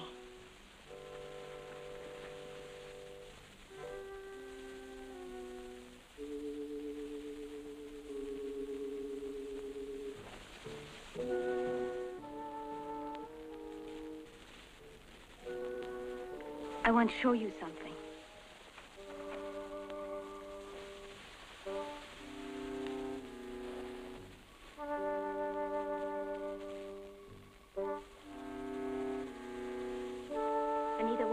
Without taking her clothes. I think we'd better get out of here, fast. Bee, I'd hate to go if she's still here. You'll go now if you go with me.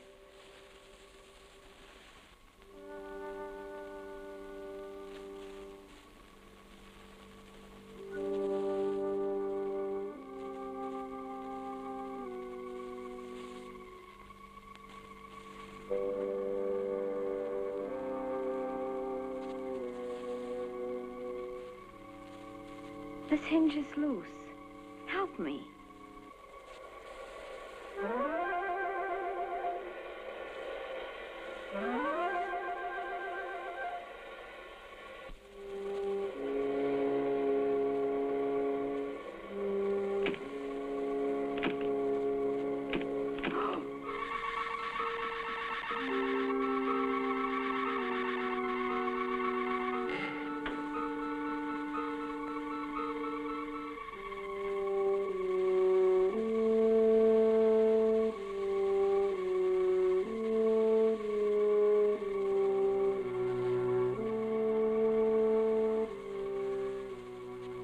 One last experiment before Dr. Frank would be ready.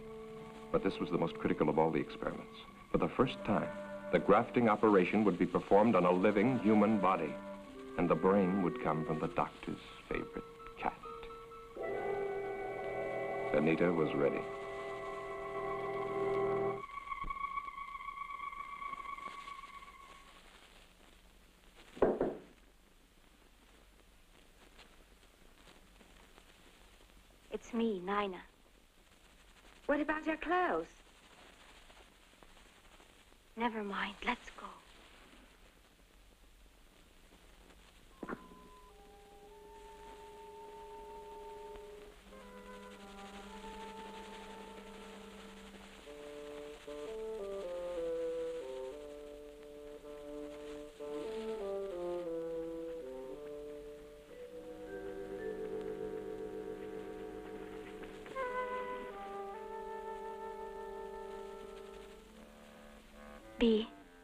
Almost saw us.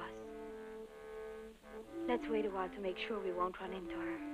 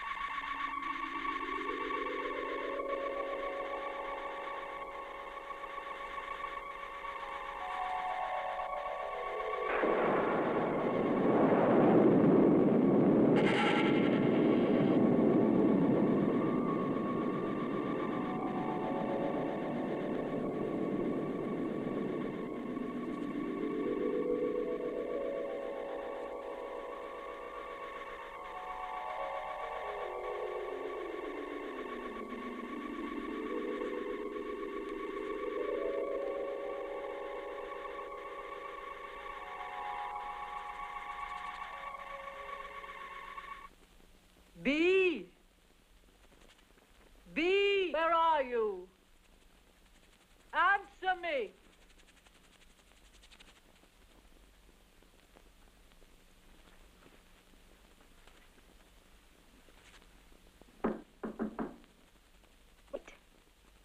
I- I'm here, Mrs. March.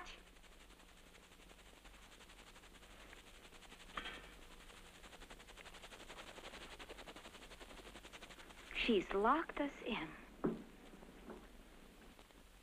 Open it. I said open it. Mrs. March.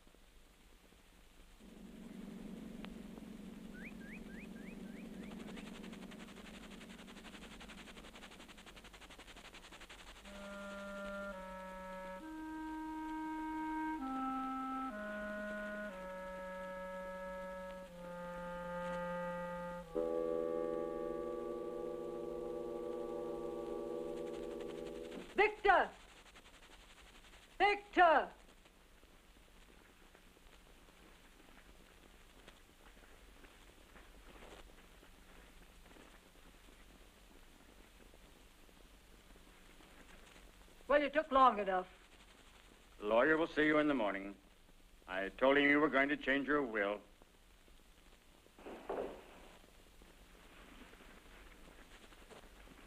You'll have to check the basement door. It broke loose.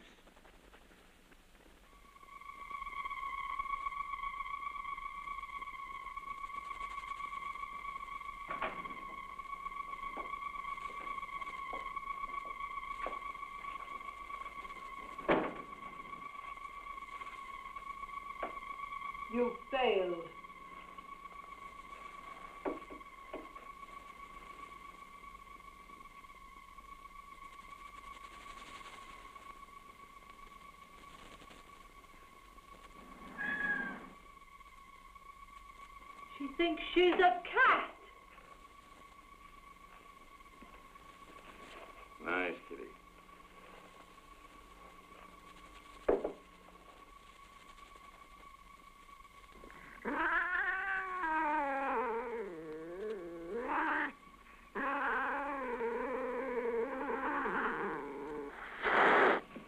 Well, I see you still resent the way Mrs. March treats you.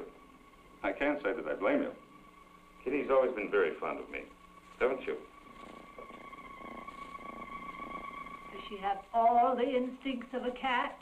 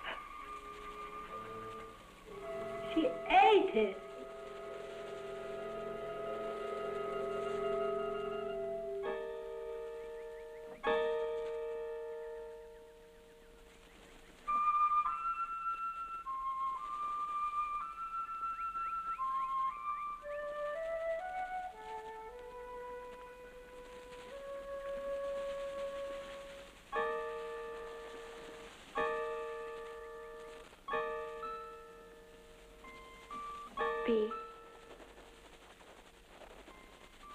Is that Anita? Where? Oh, I don't think so.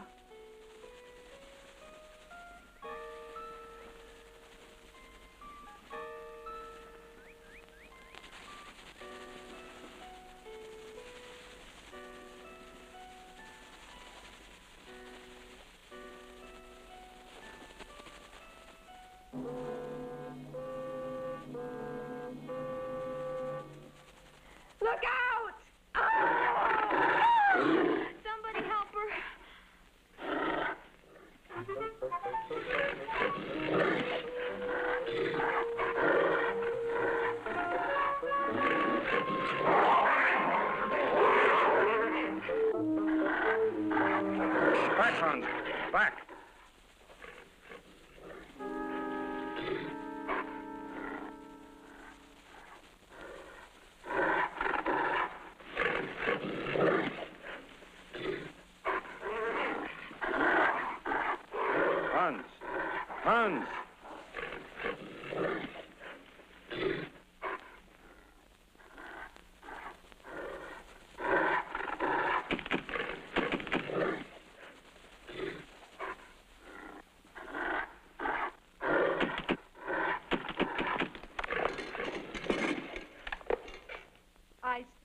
Think you should have locked them up.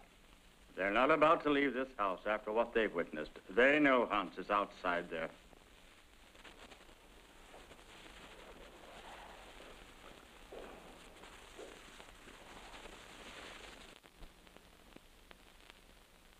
Even if we could get past that creature outside, there's still the electric fence.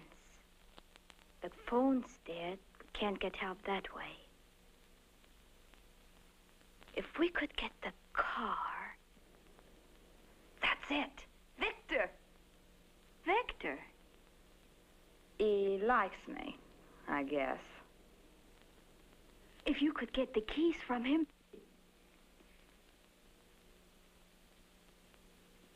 B. I was having a little nightcap.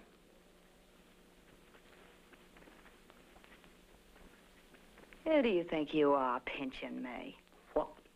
What? Maybe you'd like some company. Someone like me? Mhm. That's more like it.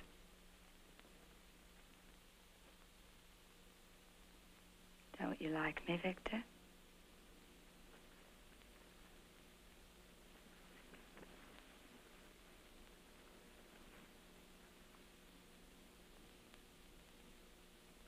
Wait.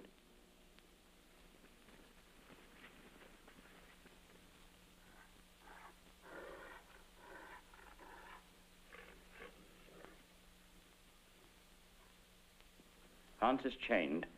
Let's go outside. Outside? I think I'd like that.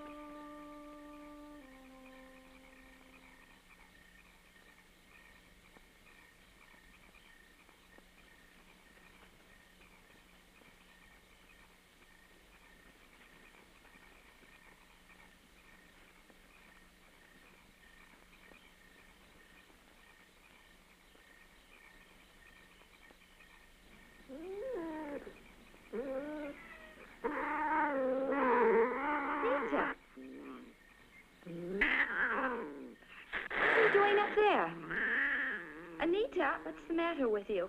Don't you know me? Anita, listen to me. It's... Ah!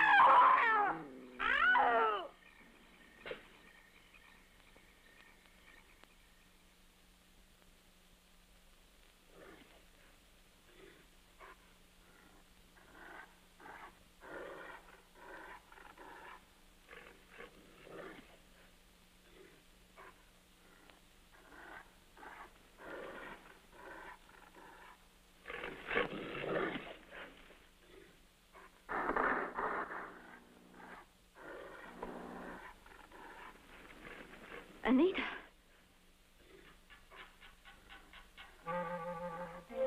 Stay right there. Don't move.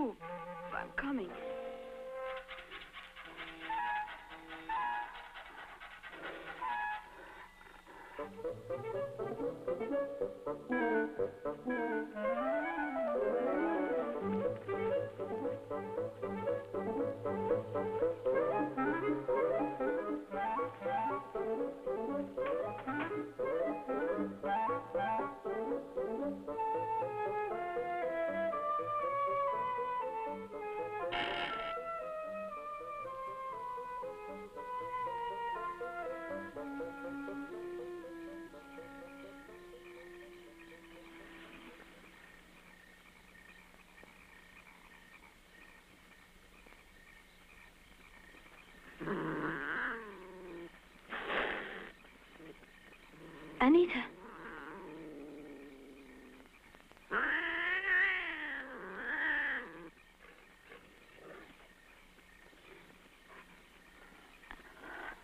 Anita, let me help you.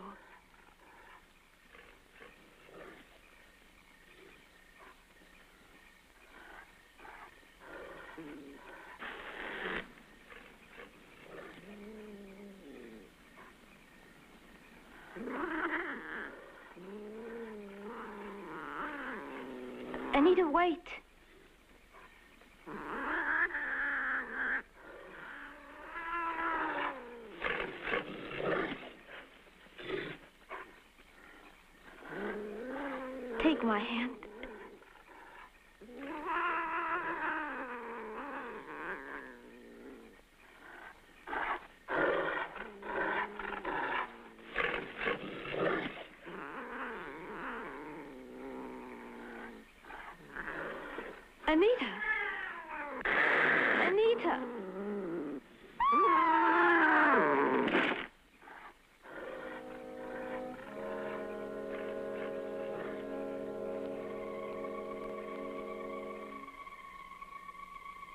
Astonishingly complex, isn't it? The human eye. That's the brain. See? She's unconscious, but she'll live. Oh, no. She will live. Well, Anita won't. She's dead.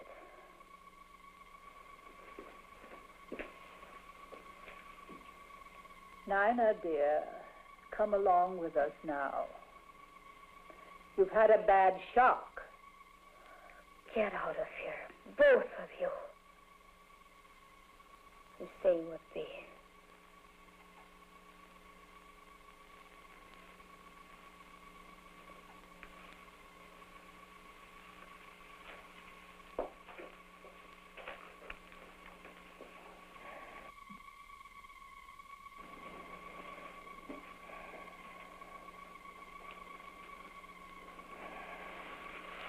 Why don't you do something for her? I've done what I can for now. Later, an operation might be possible. I'm preserving the eye. Let me show you. Come over here.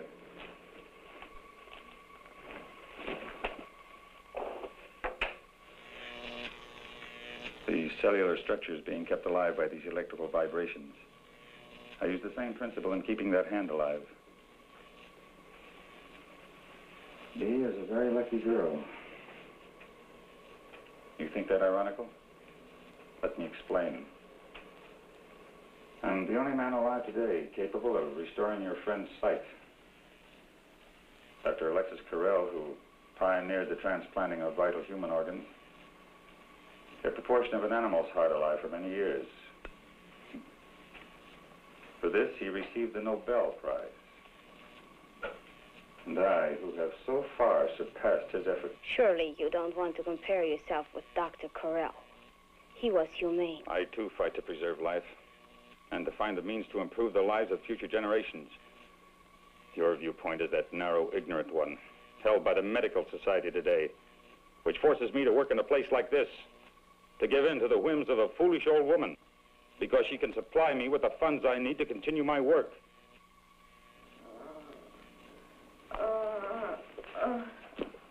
You're going to be all right. Nina? Yes, please. I I can't see. What? Your eyes are bandaged.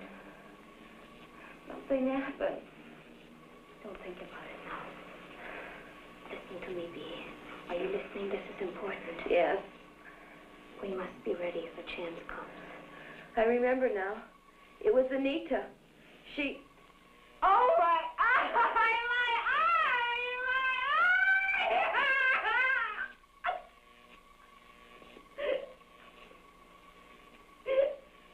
Better leave. Give this a chance to take effect. I'm a doctor. I'll take care of her. I'm sure you will take excellent care of her until your plans call for something else. Or am I to be the next one, Doctor?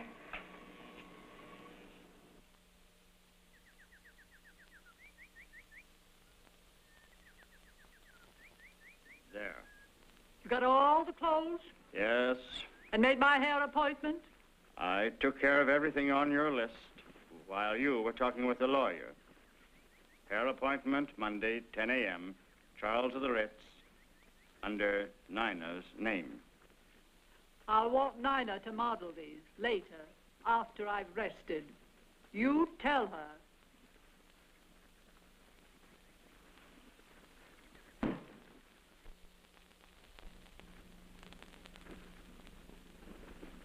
They're back. I'll have to leave you now. Remember, I'm going to try to get us out of here tonight. No. Forget about me. I won't go. Bee, don't talk like that.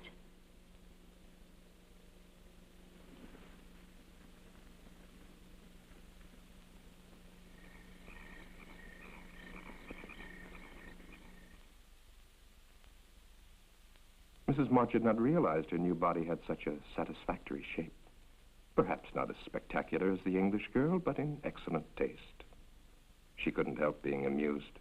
The stupid girl was not only modeling Mrs. March's future wardrobe, but Mrs. March's future body. So firm, so nicely rounded in places men like.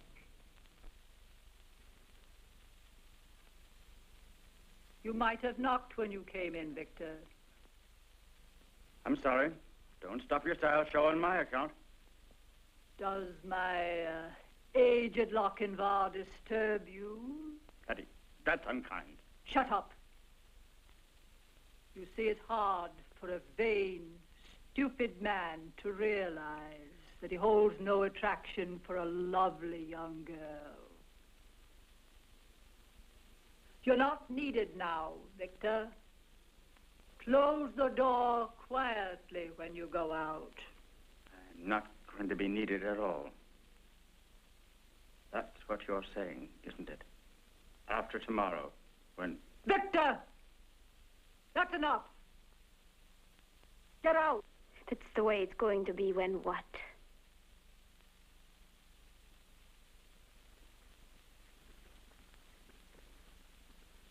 Don't ask tiresome questions.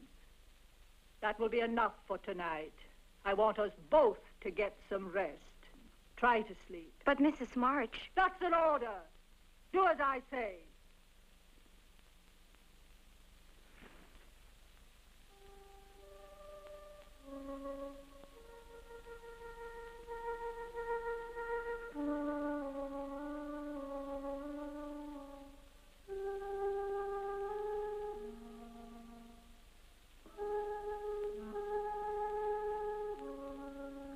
You're not looking for me, are you? Why would a pretty young girl want to be around an old man? What did you try to tell Mrs. March? Hmm? So that's what you plan to do. Get rid of old Victor once you get all that money. The only thing is, of course, it won't really be you. Victor, please tell me. Try to make sense. I am telling you. Tomorrow you'll be one of the richest women in the world. There's a press release. It's in the mails now. To all the major news syndicates. Orphan girl, sole heir to March millions. Nina Rhodes has a lucky star.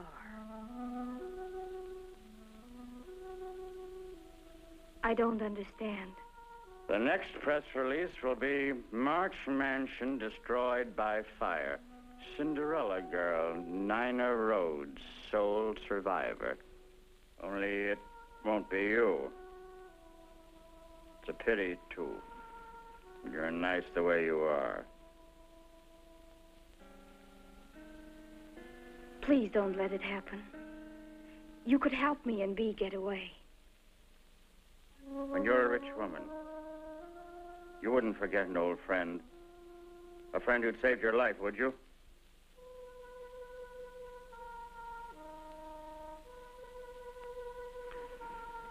Get out of the car. And stay there. Victor, Bee too. Bee must come too. Wait a minute. Just to make sure.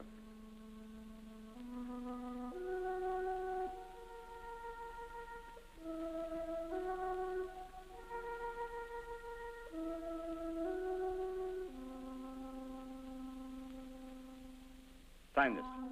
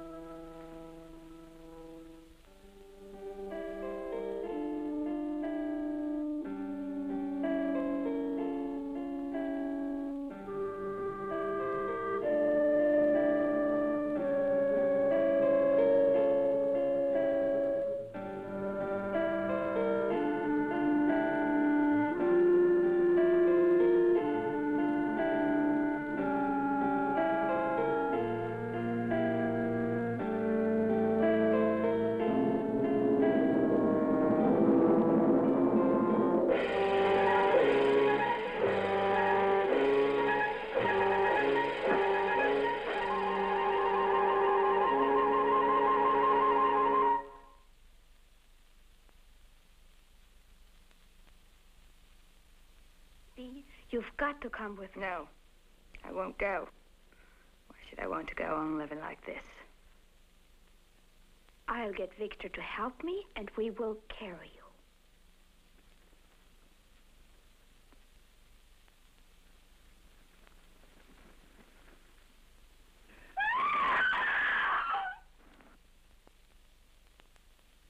Did you want something from Victor, dear?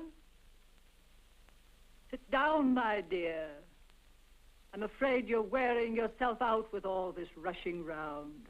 I don't like that. You realize she's mad, don't you, Dr. Frank? Relax. Hurry, Doctor. I'll be ready for you shortly, Mrs. March. I'll be waiting.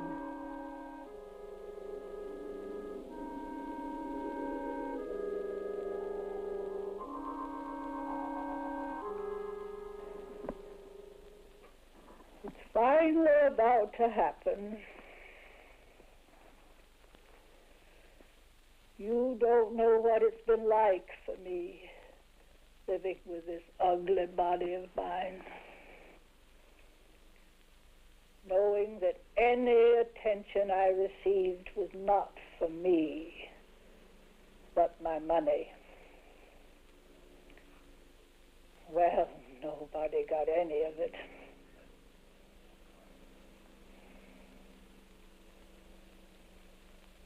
I've never known what it was like to be loved for myself alone. Why did you kill Victor, Mrs. March? Victor. Victor was a fool. I'm a practical woman, Dr. Frank. A business woman. I've never been a very practical person. I suppose that makes me a fool, too, in your eyes. Of course not. Relax, Mrs. March. Just relax.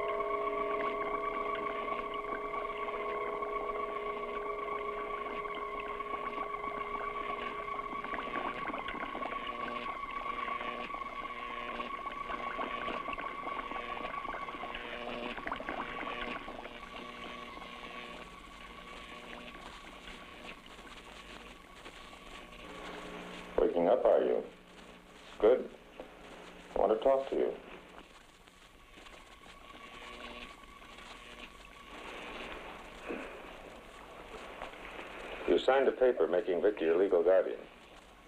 That's right, isn't it? I done something, didn't I? That would probably work as well for me. We could stay here. None of this would have to be destroyed. Breathing better, aren't you? Why don't you try it on your own? I wonder now if Mrs. March didn't intend, along with all the rest of this.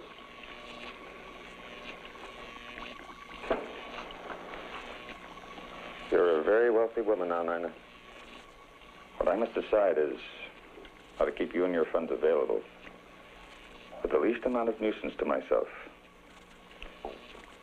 I could keep you under sedation until your signature was required. Or I could replace your brain amenable. What about Mrs. March, Doctor? Mrs. March no longer has a thing to say. Do you, my dear? Completely recovered, I'd say. How do you feel?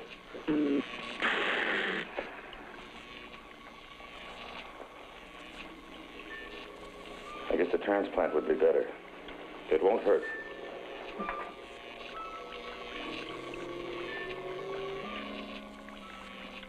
Dr. Frank had enjoyed this transplantation. Mrs. March's brain winding up in the body of a cat. Poetic justice to think of autocratic Mrs. March scavenging in back alley garbage cans for her dinner.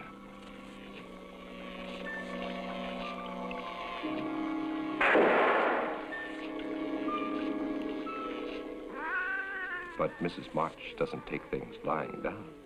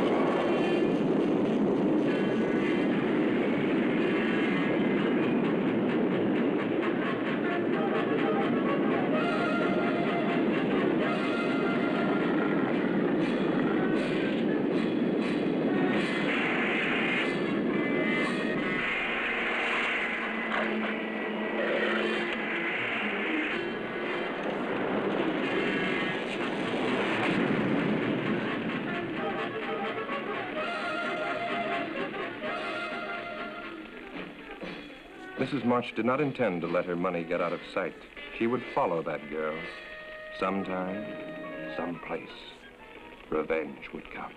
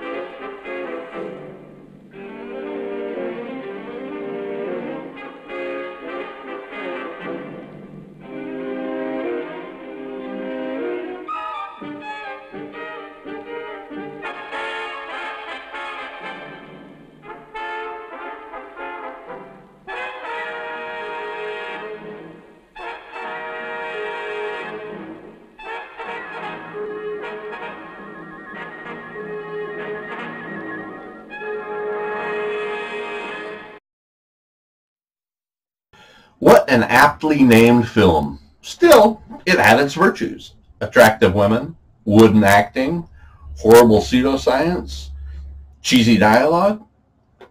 All things that help to make a bad movie better. Alrighty then, that concludes another week of fun. Thanks for watching. I'll see y'all at the same time next week. Cheers.